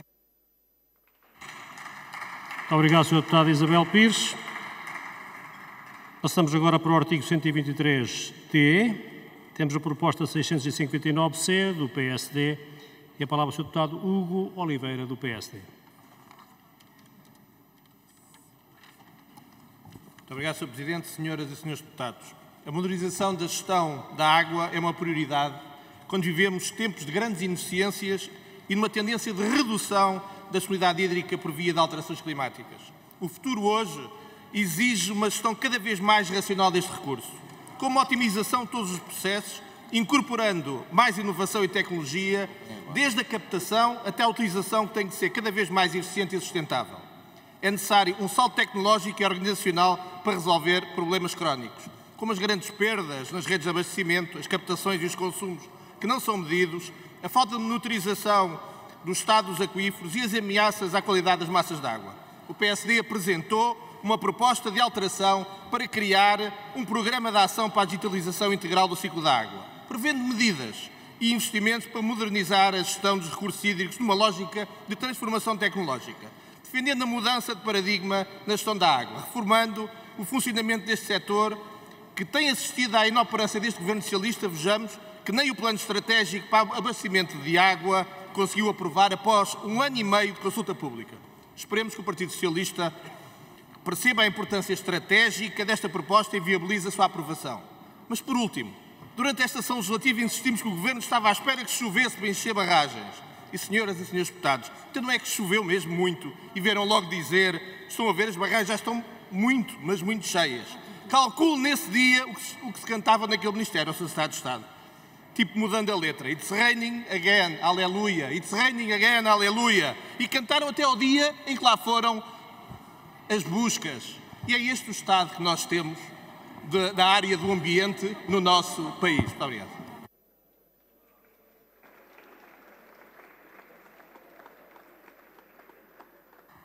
Muito obrigado, Sr. Deputado Oliveira. Para o artigo 124-A, temos a proposta 704C do Grupo Parlamentar do PSD a palavra do Sr. Deputado Carlos Cação. Tem a palavra, Sr. Deputado. Muito obrigado, Sr. Presidente, Srs. membros do Governo, Sras. e Srs. Deputados. A semana passada foi publicada a Lei 63, 2023, 16 de novembro, que revê o modelo de cogestão das áreas protegidas, onde foram reforçados vários aspectos operacionais relacionados com a cogestão de parques e de reservas naturais. A esta lei teve por base uma iniciativa do PSD que acolheu várias alterações, resultando na aprovação com voto favorável do PS e do PSD.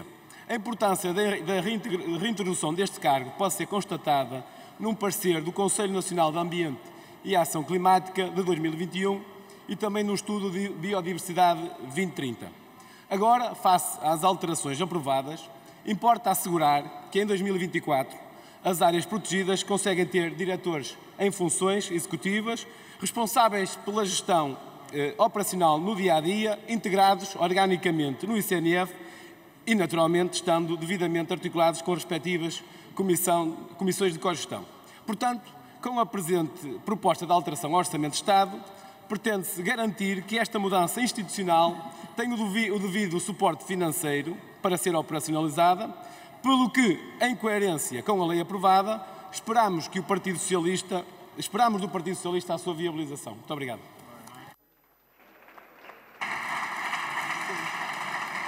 Obrigado, Sr. Deputado Carlos Cação. Para o artigo 125-A, a proposta 1122-C do Bloco de Esquerda e a palavra ao Sr. Deputado Pedro Filipe Soares. Muito obrigado, Sr. Presidente. Este Orçamento de Estado era o orçamento do IUC, em que o Governo dizia para a transição ambiental tinha que carregar sobre os mais pobres. Ora, o que nós dizemos é que isso não é aceitável. O Governo carregava sobre os mais pobres, mas não tocava nos jatos privados altamente poluentes.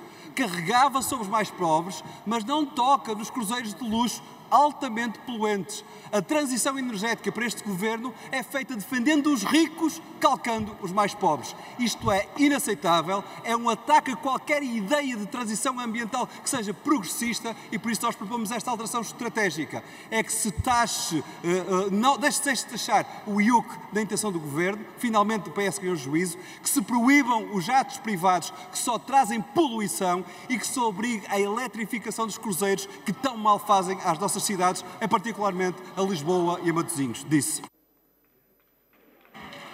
Muito obrigado, Sr. Deputado Pedro Filipe Soares. Permitam-me que peça um pouco mais de silêncio às senhoras e aos seus deputados. E agora sim, dou a palavra no âmbito do artigo 126, tem a ver com agricultura, aquicultura e pescadores, ao Sr. Deputado do Grupo Parlamentar do PS, João Nicolau. Tem a palavra, Sr. Deputado. Muito obrigado, Sr. Presidente, senhoras e senhores membros do Governo, senhoras e senhores deputados. A grande instabilidade no contexto mundial afeta a economia, mas em particular com muita incidência no setor primário. E neste cenário, uh, o trabalho da governação do Partido Socialista tem permitido mitigar os efeitos das sucessivas crises, mantendo uma ambição para o setor, procurando mais rendimento, mais investimento, melhor eh, futuro. Só este orçamento apresenta um reforço de investimento público só para a agricultura e pescas de 500 milhões de euros, com foco na competitividade e na sustentabilidade, com quatro vetores estruturantes. Programa Nacional de Regadios, são 180 milhões atribuídos só neste orçamento, e há que sublinhar, 72% das obras do Plano Nacional de Regadios ou estão em execução ou estão executadas. E já se avança com a Estratégia Nacional uh, para o Regadio 2030. Segundo vetor, ganhar escala. Um objetivo que o Governo do Partido Socialista tem trabalhado através da promoção e do incentivo à organização da produção e na aposta num programa para a reestruturação das cooperativas. Terceiro ponto, apostar na renovação geracional, com medidas como o regime fiscal mais favorável direcionado à instalação de jovens agricultores ou o prémio e as taxas de financiamento majorados no âmbito do PEPAC. Quarto ponto, transição digital e inovação através da implementação da agenda de inovação, com o investimento nos centros de conhecimento do INIAF um pouco por todo o país, para além dos apoios da PAC e da política de pescas, com mais de 350 milhões adicionados através dos orçamentos de Estado e ainda com a previsão de majoração em 40% dos custos fiscais uh, dos fatores de produção e apoio aos combustíveis para a agricultura familiar e para a pequena pesca costeira. Todo este esforço, todo este trabalho traduz-se em números aumento das exportações em 5,5% do agroalimentar e das pescas e com resultados nos programas comunitários. MAR 2020 com taxas de execução de 93%, PDR 2020 com taxas de execução de 83% a concluir em 2025, onde Portugal é um dos 10 Estados-membros com maior execução. E já com o novo PEPAC em curso, através do pedido único e dos programas setoriais. Os bons resultados são fruto do trabalho de todos os produtores e todas as empresas do setor primário mas, Srs. Deputados, resultam também do empenho e da força deste Governo do Partido Socialista. E este orçamento é bem exemplo do foco e da determinação em prol da agricultura e das pescas. Muito obrigado.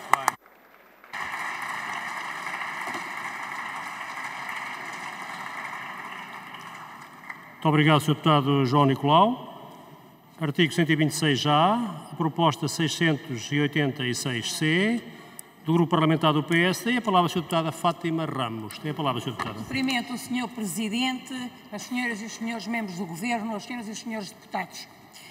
Com esta proposta, o PSD defende uh, que sejam aplicadas mais medidas que promovam e valorizem os produtos agrícolas e alimentares. Achamos que isso é importante porque beneficia o ambiente, eh, ajuda os agricultores, ajuda a balança comercial, contribui para uma maior coesão territorial. Mas infelizmente estamos a chegar, estamos a chegar neste momento ao fim de um ciclo de governos socialistas. E eu gostava que tudo aquilo que foi dito ainda agora pelo seu deputado João Nicolau fosse verdade. Mas efetivamente o que se verifica no país não é aquilo. Temos tido um governo, como dizem os agricultores, muita parra, mas pouca uva. E de facto temos indicadores que nos mostram isso. Quando vimos que em 2022 os agricultores portugueses perderam 11,7% no seu rendimento, quando vimos que perderam 24% do poder de compra. Tudo isso são indicadores que demonstram que, de facto, as coisas não estão a correr bem na agricultura. Mas, senhores agricultores, senhores produtores agrícolas que nos ouvem, isto pode ser diferente e temos a certeza que Portugal não tem que estar condenado ao fracasso, que a agricultura não tem que estar condenada ao fracasso. Se gerirem melhor os fundos comunitários, se trabalharem junto dos agricultores e dos produtores agrícolas, se investirem de outra maneira, se incentivarem quem investe e quem trabalha, quem empreende, tudo será diferente. Infelizmente, o que temos hoje é o abandono do mundo rural, é uma média etária superior a 60 anos na agricultura. E assim não vamos lá. Por isso, senhoras e senhores agricultores, é tempo de fazer diferente e acredito que vão votar no PSD nas próximas eleições.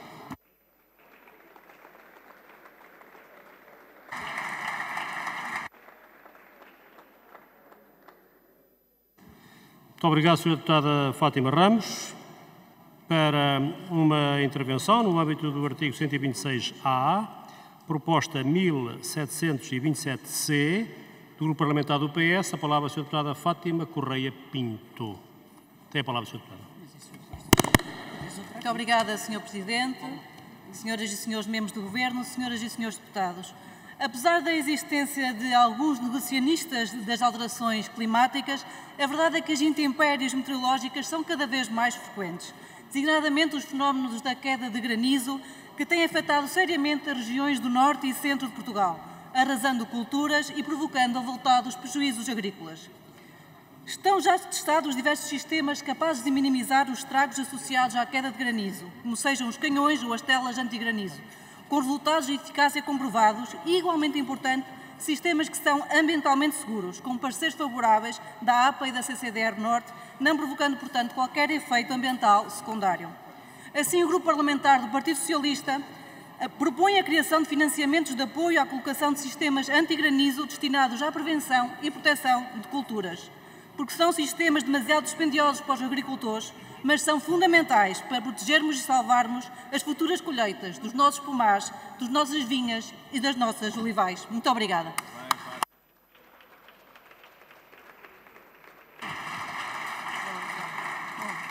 Muito obrigado, Sra. Deputada Fátima Correia Pinto.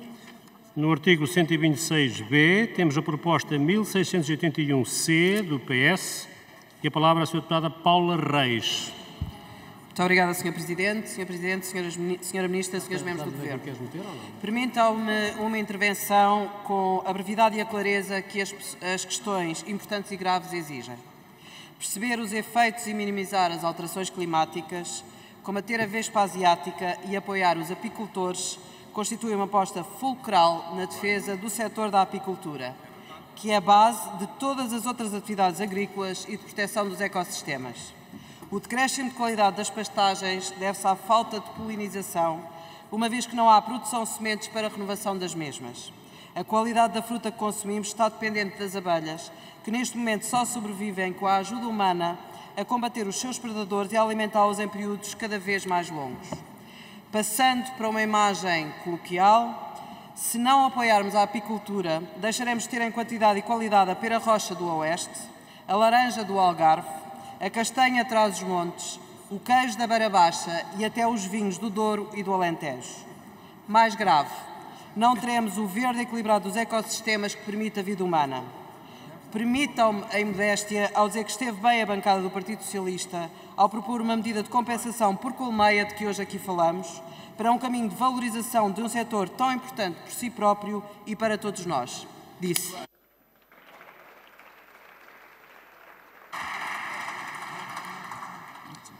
Obrigado, Sra. Deputada. Vou dar agora a palavra ao Sr. Secretário de Estado das Infraestruturas, Frederico Francisco, para uma intervenção. Tem a palavra Sr. Secretário de Estado. Muito obrigado, Sr. Sr. Presidente. Uh, de facto, surgiram aqui inúmeras propostas sobre uh, reduções tarifárias e sobre alargamento de, de passos de transportes públicos. Eu queria aproveitar para recordar o caminho que foi feito por este Governo uh, no, na criação de passos nas áreas metropolitanas a valores muito mais reduzidos do que, do que existiu anteriormente, passos que passaram pela primeira vez a permitir a utilização de todos os modos de transporte, já foi aqui também recordado pelo grupo parlamentar do, do PCP, e o caminho que foi, feito, foi iniciado no ano passado com a criação do Passo Ferroviário Nacional. É evidente que esse passo tem limitações, mas mais do que as limitações do passo, nós estamos conscientes das limitações que a nossa rede de transportes públicos e que, em particular, a nossa rede ferroviária tem e da quantidade de investimento de que ele precisa. E, por isso, o nosso foco tem que ser é continuar a reforçar e a fazer o investimento no alargamento da rede na, e no alargamento dos serviços. Contudo, isso não impede que nós possamos avaliar a, a, possibilidade e avaliar as propostas que existem para se facilitar o acesso aos transportes públicos pela via tarifária. Muito obrigado.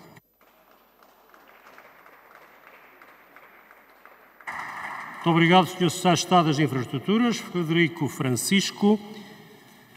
Estamos agora no artigo 134C e, concretamente, a proposta 744C do PAN. E a palavra, Sra. Deputada Inês Sousa Real.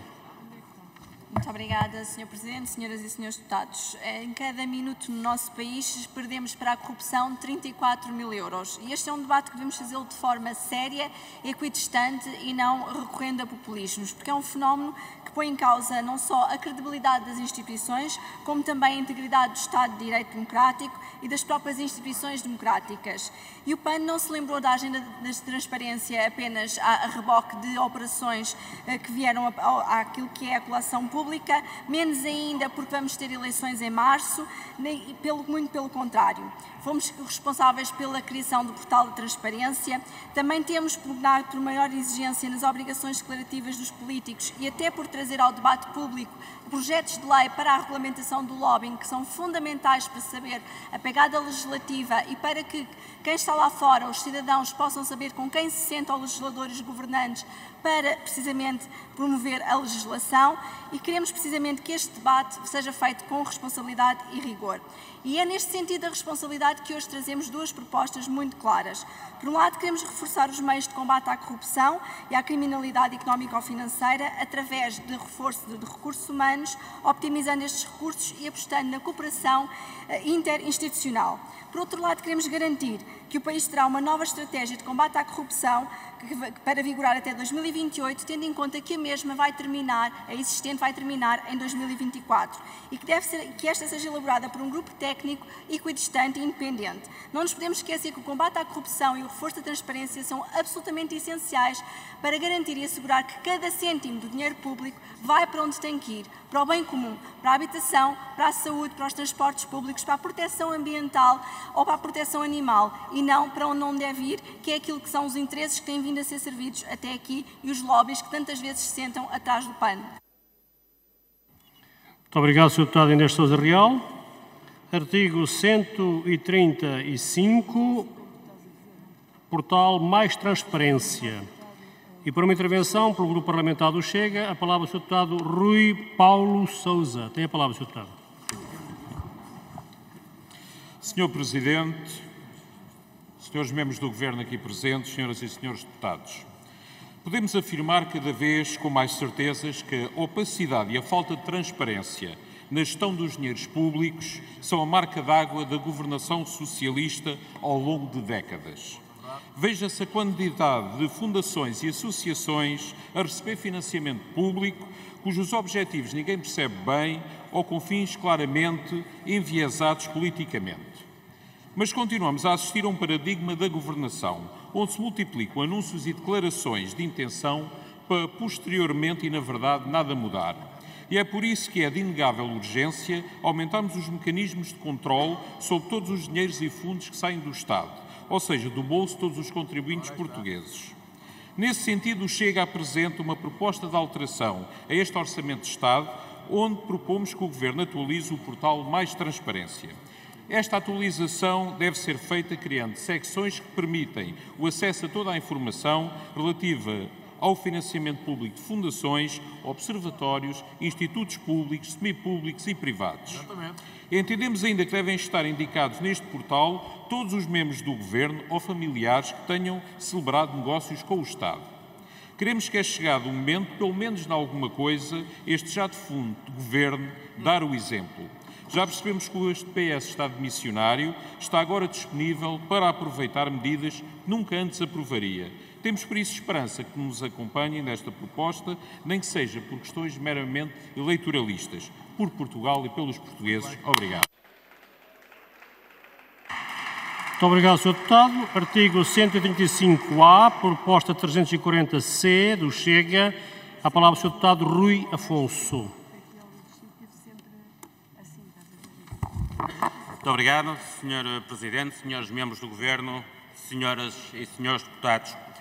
160 mil milhões de euros. Agradecia que fixassem bem este número.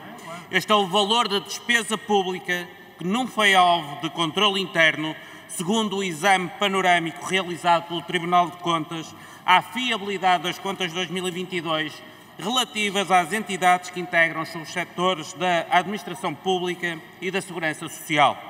Isto significa que mais de 72% da despesa pública não foi alvo de qualquer certificação interna. Mas, mais do que isso, também podemos ir aos ativos do Estado.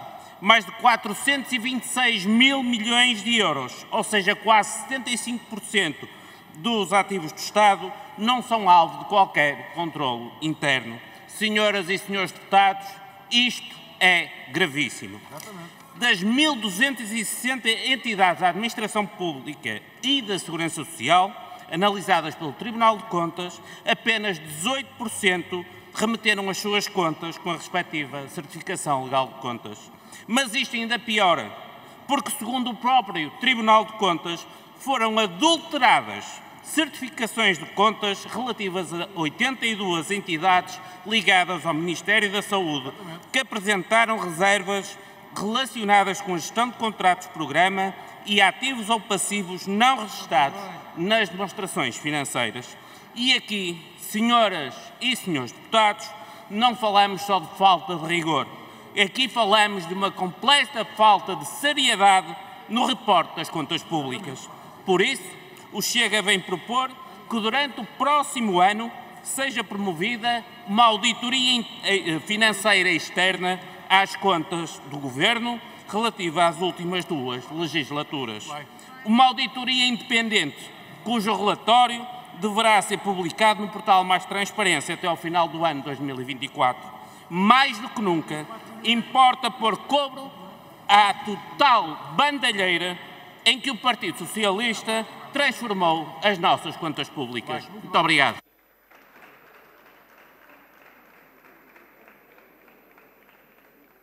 Muito obrigado, Sr. Deputado. Artigo 138-A, proposta 1320-C do PCP.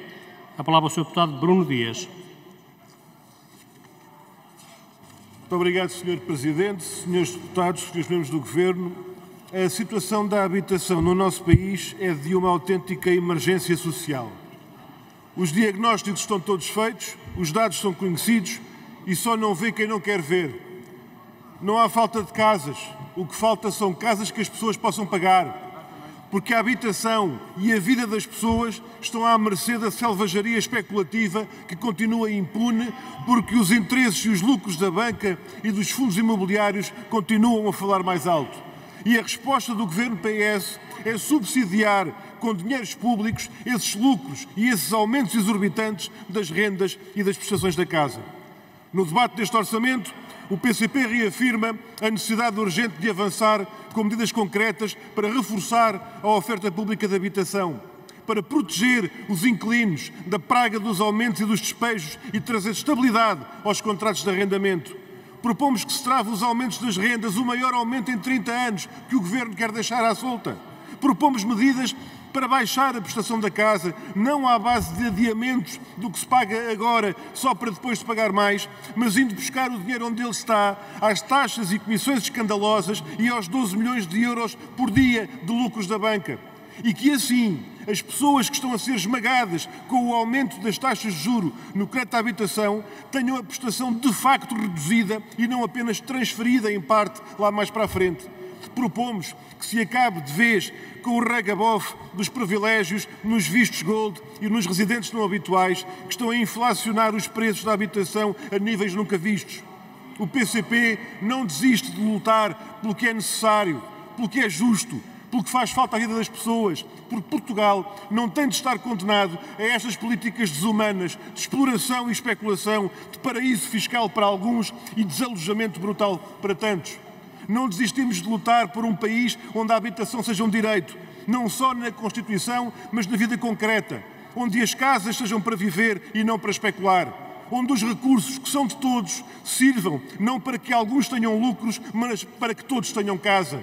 Por isso dizemos que é hora de mudar de política. Com a força que tivermos, com a força que as pessoas quiserem ter, cá estamos, cá estaremos com as soluções que é urgente concretizar. A votação será hoje, mas a luta será sempre. Muito obrigado. Muito obrigado, Sr. Deputado. Artigo 138-A, proposta 767-C do PSD. A palavra, Sr. Deputada Germana Rocha. Rocha. Muito obrigada, Sr. Presidente, Srs. Membros do Governo, Srs. Deputados. Nascer pobre não deve nem pode ser uma fatalidade. Muito bem. E sim, ao contrário do que tanto proclama o Governo e o PS, muitos são os portugueses que vão ficando para trás. Estudos demonstram que as crianças que crescem em situação de pobreza correm o risco de desemprego e exclusão social em adultos. E que em Portugal 30% da população não tem capacidade para fazer face a uma despesa inesperada. Dados que se agravam no atual contexto socioeconómico devido ao elevado custo de vida em que as famílias têm cada vez mais dificuldades em fazer face às despesas de alimentação, saúde, habitação e educação.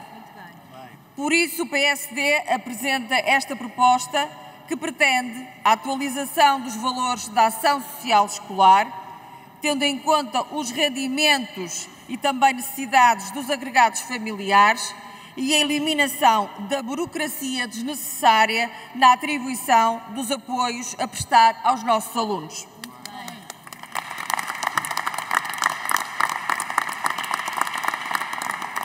aumentando assim consideravelmente o universo dos seus beneficiários.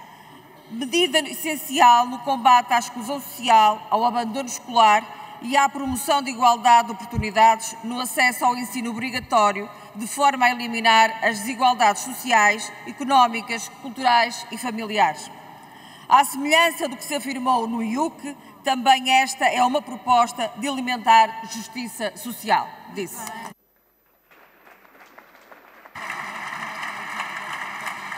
Muito obrigado, Sr. Deputada Germana Rocha. Artigo 139-A, proposta 1241-C do PCP. A palavra ao Sr. Deputado Bruno Dias. Muito obrigado, Sr. Presidente, Srs. Deputados, Srs. Membros do Governo. A TAP está há mais de 30 anos a ser desestabilizada por sucessivos processos de privatização. A TAP já não existia se tivesse ficado nas mãos do capital privado mas como voltou para o controle público, a empresa continua a criar valor, a ser o maior exportador nacional de serviços, a criar emprego de qualidade, a alimentar o turismo nacional, a assegurar capacidade soberana no transporte aéreo. A TAP SA, que apresentou lucros consistentemente ao longo da última década antes da pandemia, estima-se que apresentará igualmente lucros em 2023. A TAP esteve sem receber um cêntimo do Estado desde 1997 até à crise pandémica da Covid-19. E como se demonstrou na Comissão de Inquérito, só em 10 anos, a TAP trouxe ao Estado receitas só em IRS de 1,2 mil milhões de euros. Ou ainda, receitas da Segurança Social no valor de 1,4 mil milhões de euros contra 40 milhões da Ryanair. Agora que já pagamos para a TAP ficar capitalizada, equilibrada financeiramente, vamos entregar a TAP a interesses privados estrangeiros? E mesmo os resultados futuros da TAP, para lá do seu papel estratégico para a economia nacional, podem reverter em dividendos para o Estado, porque é que terão de acumular lucros para uma qualquer Lufthansa.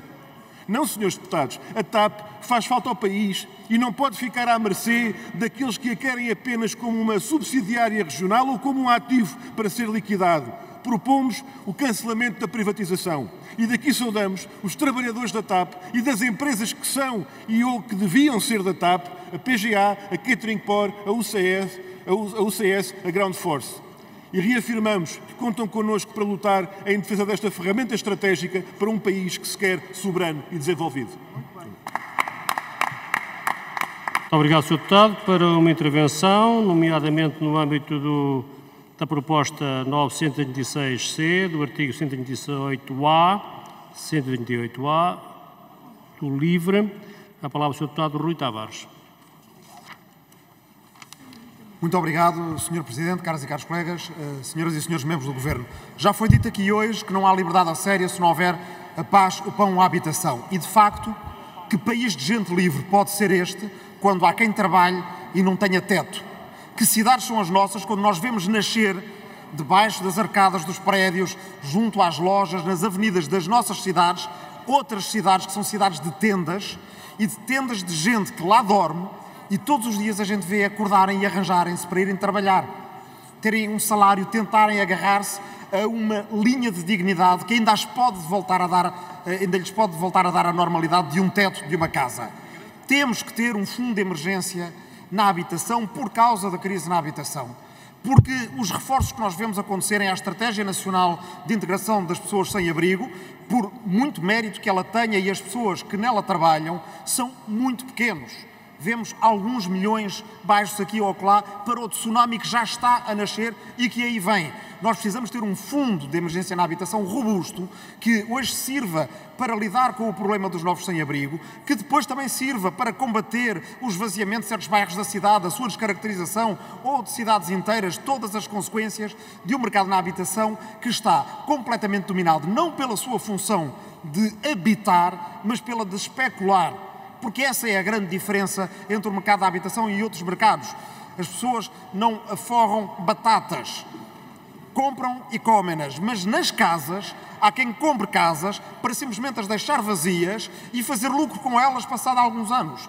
E, portanto, isto precisa de ter um enquadramento fiscal na qual as externalidades negativas geradas por, estes, por este comportamento do mercado sirvam para atender às emergências que nós aí temos. É por isso que o livro propõe que o IMT, que já tem uma taxa acrescida para os prédios de luxo acima de um milhão de euros, mas que está desadequado ao mercado de hoje, que essa taxa seja aumentada e que os, a arrecadação dessa taxa do IMT, do imobiliário de luxo, comprado em grande parte por gente que não é sequer ainda contribuinte do nosso país, sirva para constituir este fundo de emergência na habitação que seja muito mais robusto e que possa dar soluções a quem delas mais precisa, porque não é livre quem não tem um teto, quem não tem uma casa onde morar, quem não possa ter ali a sua reserva de dignidade para depois, aí sim, levantar-se todos os dias, ir trabalhar, regressar a uma vida de dignidade que é aquela que as pessoas desejam e que é aquela que nós, como sociedade, temos a obrigação de garantir às pessoas. Muito obrigado. Muito obrigado, Sr. Deputado. Para o artigo 138, perdão, 139A, a proposta 1388C do Chega, a palavra, Sra. Deputada Rita Matias. Muito obrigada, Sr. Presidente, Srs. Membros do Governo, Srs. Deputados. Este orçamento consagra 426 milhões de euros para a igualdade de género, mas sabem perfeitamente que não o fazem em nome das mulheres, porque, como sabem, o conceito de género é a maior traição às mulheres. E desde logo vemos quando a Ministra da Tutela aqui presente não soube definir o que é uma mulher.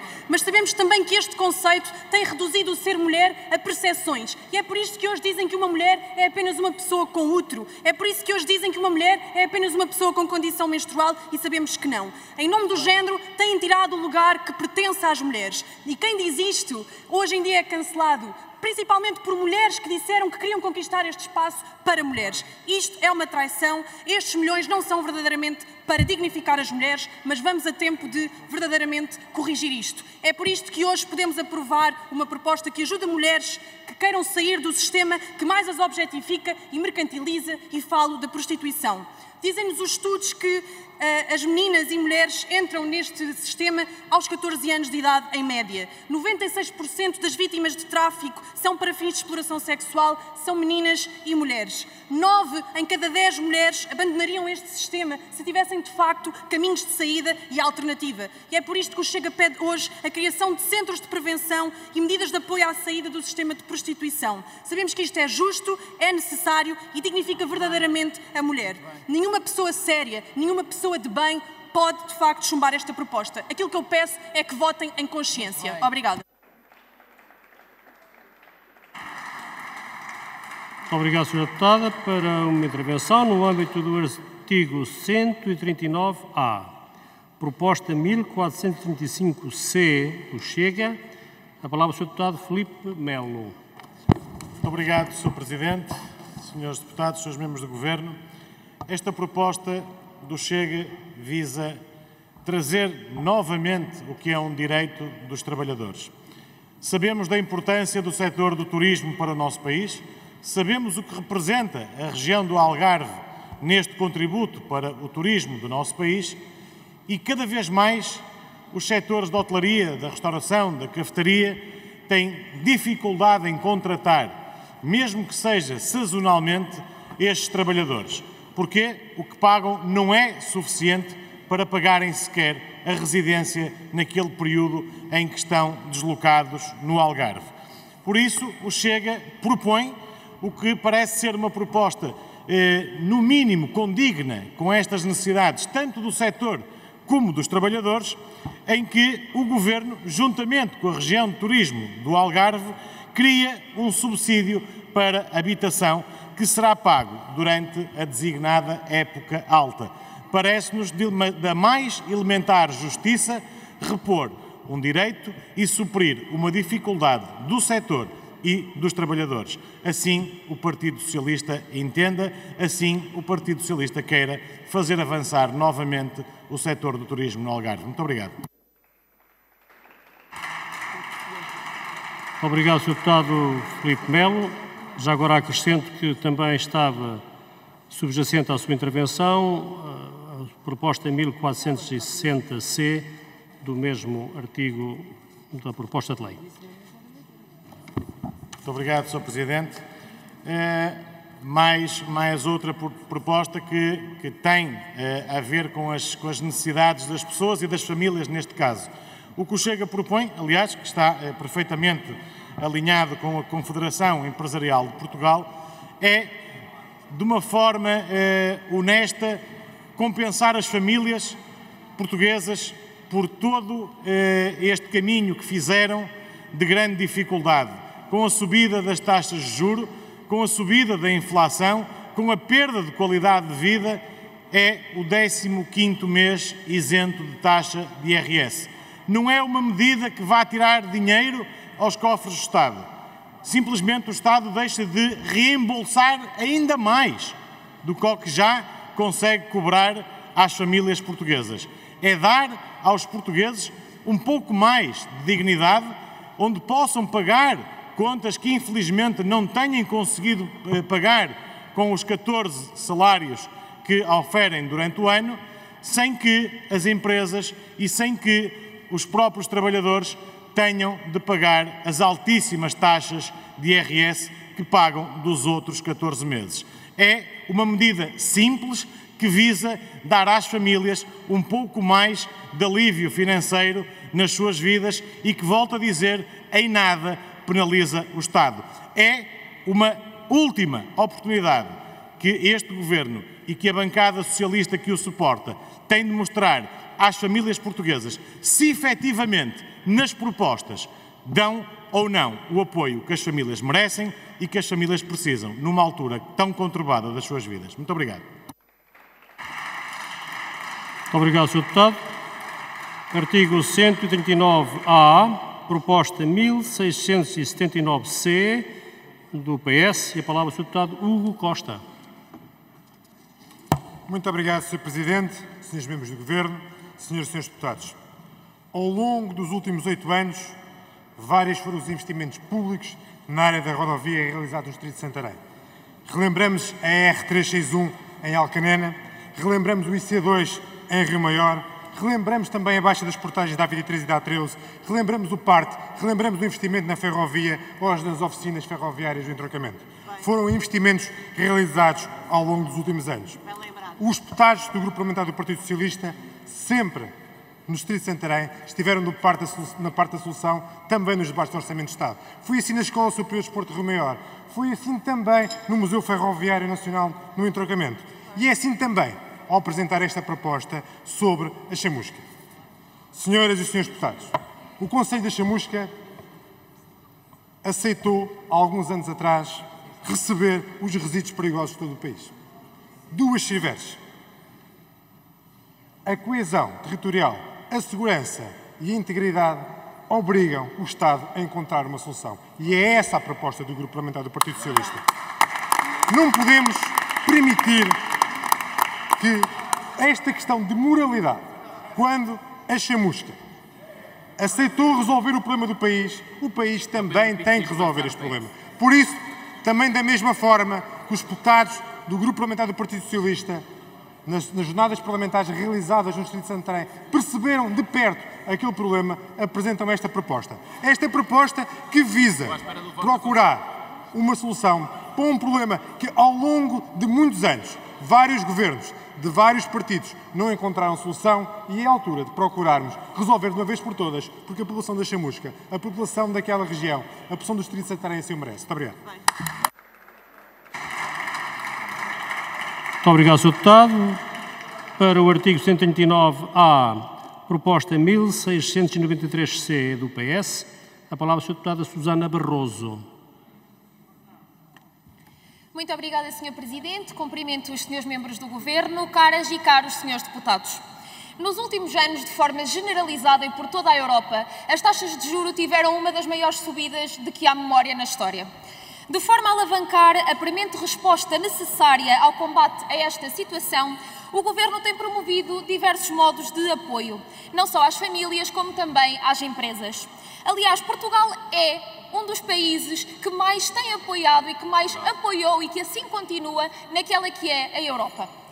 Além de todos os apoios já subejamente conhecidos, foi também criado para as famílias com dificuldades no crédito à habitação um mecanismo de fixação de juros, baixando desta forma as suas prestações. Um mecanismo claramente necessário, ao qual milhares de famílias estão já a aceder de forma a conseguirem fazer face e colmatar as dificuldades da conjuntura atual. Exatamente com base no presente contexto que o Partido Socialista propõe neste Orçamento do Estado que seja criado um mecanismo semelhante, mas agora para as empresas. Com o propósito de que durante os próximos anos seja possível atenuar a pressão da tesouraria que no limite poderia originar o estrangulamento das empresas e fazer perigar postos de trabalho.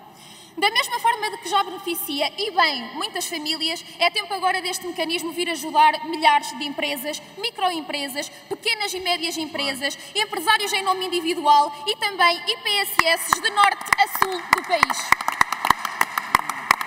Tal como durante a pandemia e ao longo dos últimos anos, estivemos e estamos ao lado das empresas, ao lado do investimento e ao lado do desenvolvimento, apresentando condições e apoios adequados a cada momento e a cada conjuntura, conforme os cenários que se nos apresentam. E sim, senhores deputados, bem podem tentar negar, é por causa de mantermos esta postura coerente e esta mesma postura que nos batemos recordes de emprego e recordes de exportações. A direita diz e repete, suponho que na esperança de que assim se torne verdade, eh, que este orçamento e esta política não são para as empresas, mas a realidade e as próprias empresas encarregam-se de desmascarar factualmente este vosso discurso. Obrigada.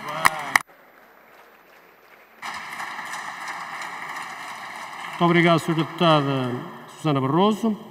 Para uma intervenção agora, no âmbito do artigo 139-A e das propostas 1701-C e 1718-C, do Grupo Parlamentar do PS, a palavra é a. Deputada Sara Velez. Muito obrigada, Sr. Presidente, Srs. Membros do Governo, Senhoras e Senhores Deputados. O Grupo Parlamentar do Partido Socialista apresenta aqui hoje duas importantes propostas de alteração ao Orçamento de Estado, uma na área das infraestruturas e outra na área da defesa do nosso património. Na primeira, na área das infraestruturas, damos corpo a uma antiga e muito importante reivindicação da região de Leiria, a requalificação do IC8, propondo que no ano de 2024 o Governo adote as diligências necessárias que permitam dar início aos estudos de segurança rodoviária e execução de projetos com vista à sua requalificação. Esta é uma importante infraestrutura que liga o litoral ao interior do país e cuja requalificação é urgente há muitos anos, não só para resolver o grave flagelo da sinistralidade rodoviária que ali também se verifica, como também constituirá um excelente contributo para aquela que é a coesão territorial e para o desenvolvimento económico do centro do país. Na área do património, apresentamos a proposta que define que durante o ano de 2024 e em função dos resultados dos estudos realizados, o Governo desencadeia as medidas necessárias e adequadas à proteção do Mosteiro da Batalha, com vista a defendê-lo do impacto que sofre diariamente com a circulação rodoviária no IC2, particularmente por veículos pesados, e que por este motivo está sujeito a limpezas sucessivas, o que tem vindo a causar efeitos visíveis na erosão da pedra branca calcária com que é construído. Com esta proposta, o Grupo Parlamentar do Partido Socialista visa defender um dos maiores ativos, eh, um dos maiores ativos patrimoniais da região de Leiria, do país e do mundo, uma vez que se trata de um monumento classificado como Património Mundial pela Unesco. Com estas duas propostas, senhoras e senhores deputados, concretizamos compromissos que firmamos com as populações e com os territórios que representamos e damos mais uma vez sentido àquele que dizem ser um mantra, mas que repetimos sempre com muito orgulho: palavra dada é palavra honrada. Muito obrigada.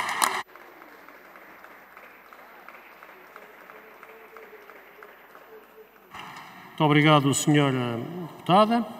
Vai agora intervir pelo Governo o Sr. Secretário de Estado Adjunto e das Infraestruturas, Frederico Francisco. Tem a palavra, Sr. Secretário de Estado. Muito obrigado, Sr. Presidente. Uh, há pouco falei de ferrovia, agora há aqui um conjunto de propostas sobre rodovia. É verdade que ainda há muitos investimentos rodoviários para fazer, para fazer no país e nós não temos a capacidade de os fazer todos de uma vez, mas queria dar aqui duas notas. Nós temos a consciência de que o problema com o atravessamento nas, dos caminhões na chamusca no Conjuntos Perigosos é, é, um problema e corresponde a uma dívida para aquelas populações de há, de há, de há décadas e, e, estamos a trabalhar em, em, soluções para isso, é para planear uma, uma solução para, para finalmente resolver esse problema e recordar que, independentemente de muitas das propostas terem ou não lugar no, no Orçamento de Estado, é? o Orçamento de Estado também não é o local para estar a colocar prazos e planeamento de obras, que nós estamos neste momento a lançar aquela que é a maior obra rodoviária de sempre feita com fundos do Orçamento de Estado, que é a obra do IP3. Muito obrigado. Muito obrigado, Sr. Secretário de Estado Adjunto e das Infraestruturas. Para uma intervenção no âmbito do artigo 139-A, proposta 1797-C do Grupo Parlamentar do PS, a palavra à Sra. Deputada Cristina Mendes da Silva. Tem a palavra, Sra. Eh, deputada. Muito obrigada, Sr. Presidente. Cumprimento os membros do Governo, Sras. Deputadas, Srs. Deputados. O Grupo Parlamentar do Partido Socialista propõe esta proposta de alteração ao Orçamento de Estado no sentido do Governo, durante o ano 2024, promover uma nova geração de redes sociais. Será designado Programa Rede Social de Desenvolvimento Social e Local. Servirá para promover a sua melhor eficácia, para ter uma maior articulação com os agentes locais, regionais e nacionais e para promover ainda mais a coesão social e económica de todos os territórios. O programa Rede Social, após 20 anos de implementação, pelos governos do Partido Socialista continua inovador, visionário e revolucionário. A sua governação é integrada, pois envolve todos os parceiros da comunidade e rege pelos princípios da democracia, solidariedade, transparência e cooperação. O grupo parlamentar do Partido Socialista quer ir mais longe e alarga as parcerias das redes sociais ao setor económico e faz com que os novos parceiros possam inovar as soluções para a empregabilidade, para a inovação e para o empreendedorismo quer potenciar ainda e operacionalizar as estratégias nacionais como a da pobreza das pessoas em situação de sem-abrigo, das pessoas com deficiência, a da proteção das crianças e outras, através das redes sociais, que serão o motor para a sua execução a nível local. Porque o programa Rede Social é a medida política mais justa, mais solidária e mais democrática, pois combate a pobreza, a exclusão, a desigualdade, a violência doméstica, a violência de género, qualquer tipo de violência contra os grupos de pessoas mais vulneráveis. Mas, em simultâneo, ela também promove o desenvolvimento económico e social dos territórios e faz com que cada instituição, cada empresa e cada pessoa se sinta responsável e motivada para fazer parte da solução dos problemas do seu Conselho e da sua região. E isto num verdadeiro trabalho de rede, de parceria, de eficácia coletiva. Governar com as redes sociais não é só governar para as pessoas, é sobretudo governar com as pessoas. As redes sociais de desenvolvimento local e social são as políticas sociais do futuro. E mais uma vez, pela mão do Partido Socialista. Obrigada, Sr. Presidente. Muito obrigado, Sr. Deputada. Deputado Pedro Pinto pede a palavra para quem fez? Uma intervenção à mesa sobre a Constituição dos Trabalhos, Sr. Presidente. É a palavra, Sr. Deputado. Em nome do Grupo Parlamentar do Chega, queria saudar a presença nas galerias de Tino Schupalá e de Marine Le Pen, que hoje fazem questão de nos vir visitar a este Parlamento Português. Obrigado, Sr. Deputado.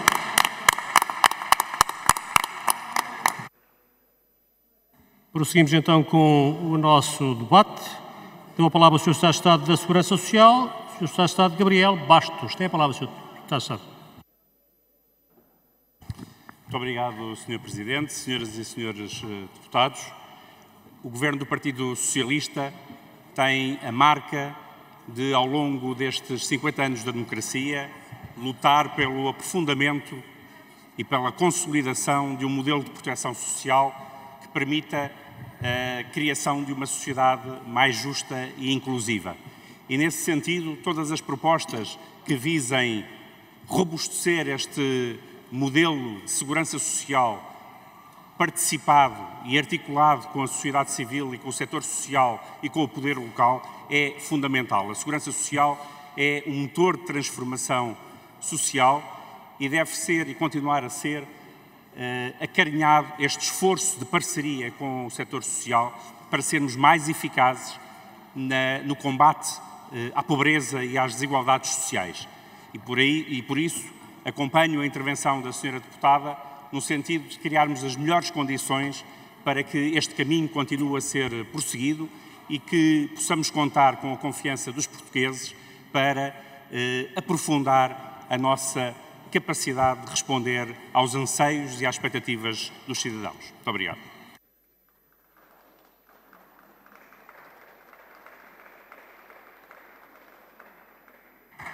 Obrigado, Sr. Estado de Estado da Segurança Social. Vossa Excelência tem um pedido de esclarecimento.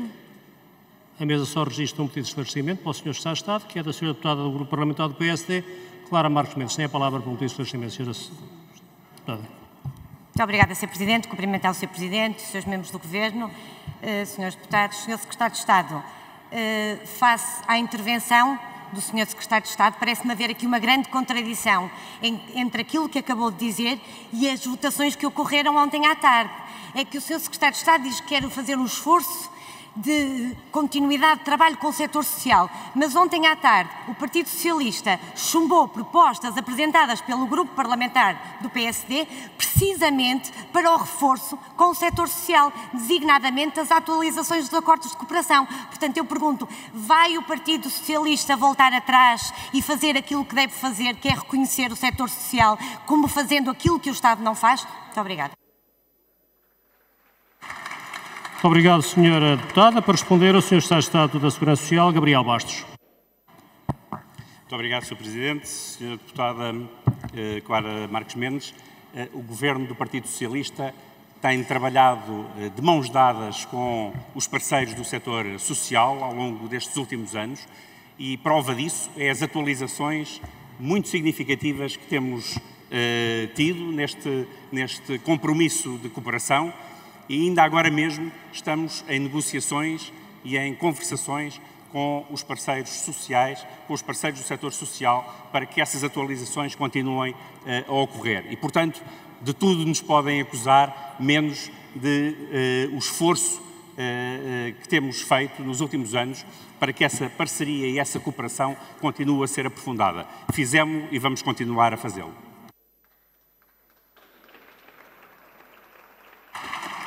Muito obrigado, Sr. Secretário de Estado.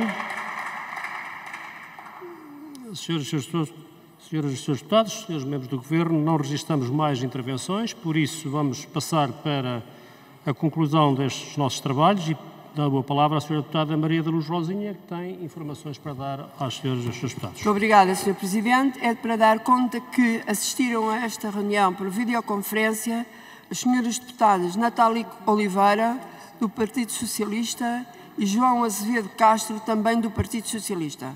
É só, Sr. Presidente. Muito obrigada. Muito obrigado, senhora deputada.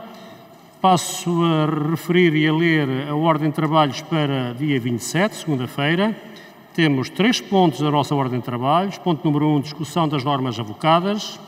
Ponto número 2, votação das normas avocadas. Ponto número 3, continuação da discussão na especialidade. E refiro que será dia 27, às 10 da manhã.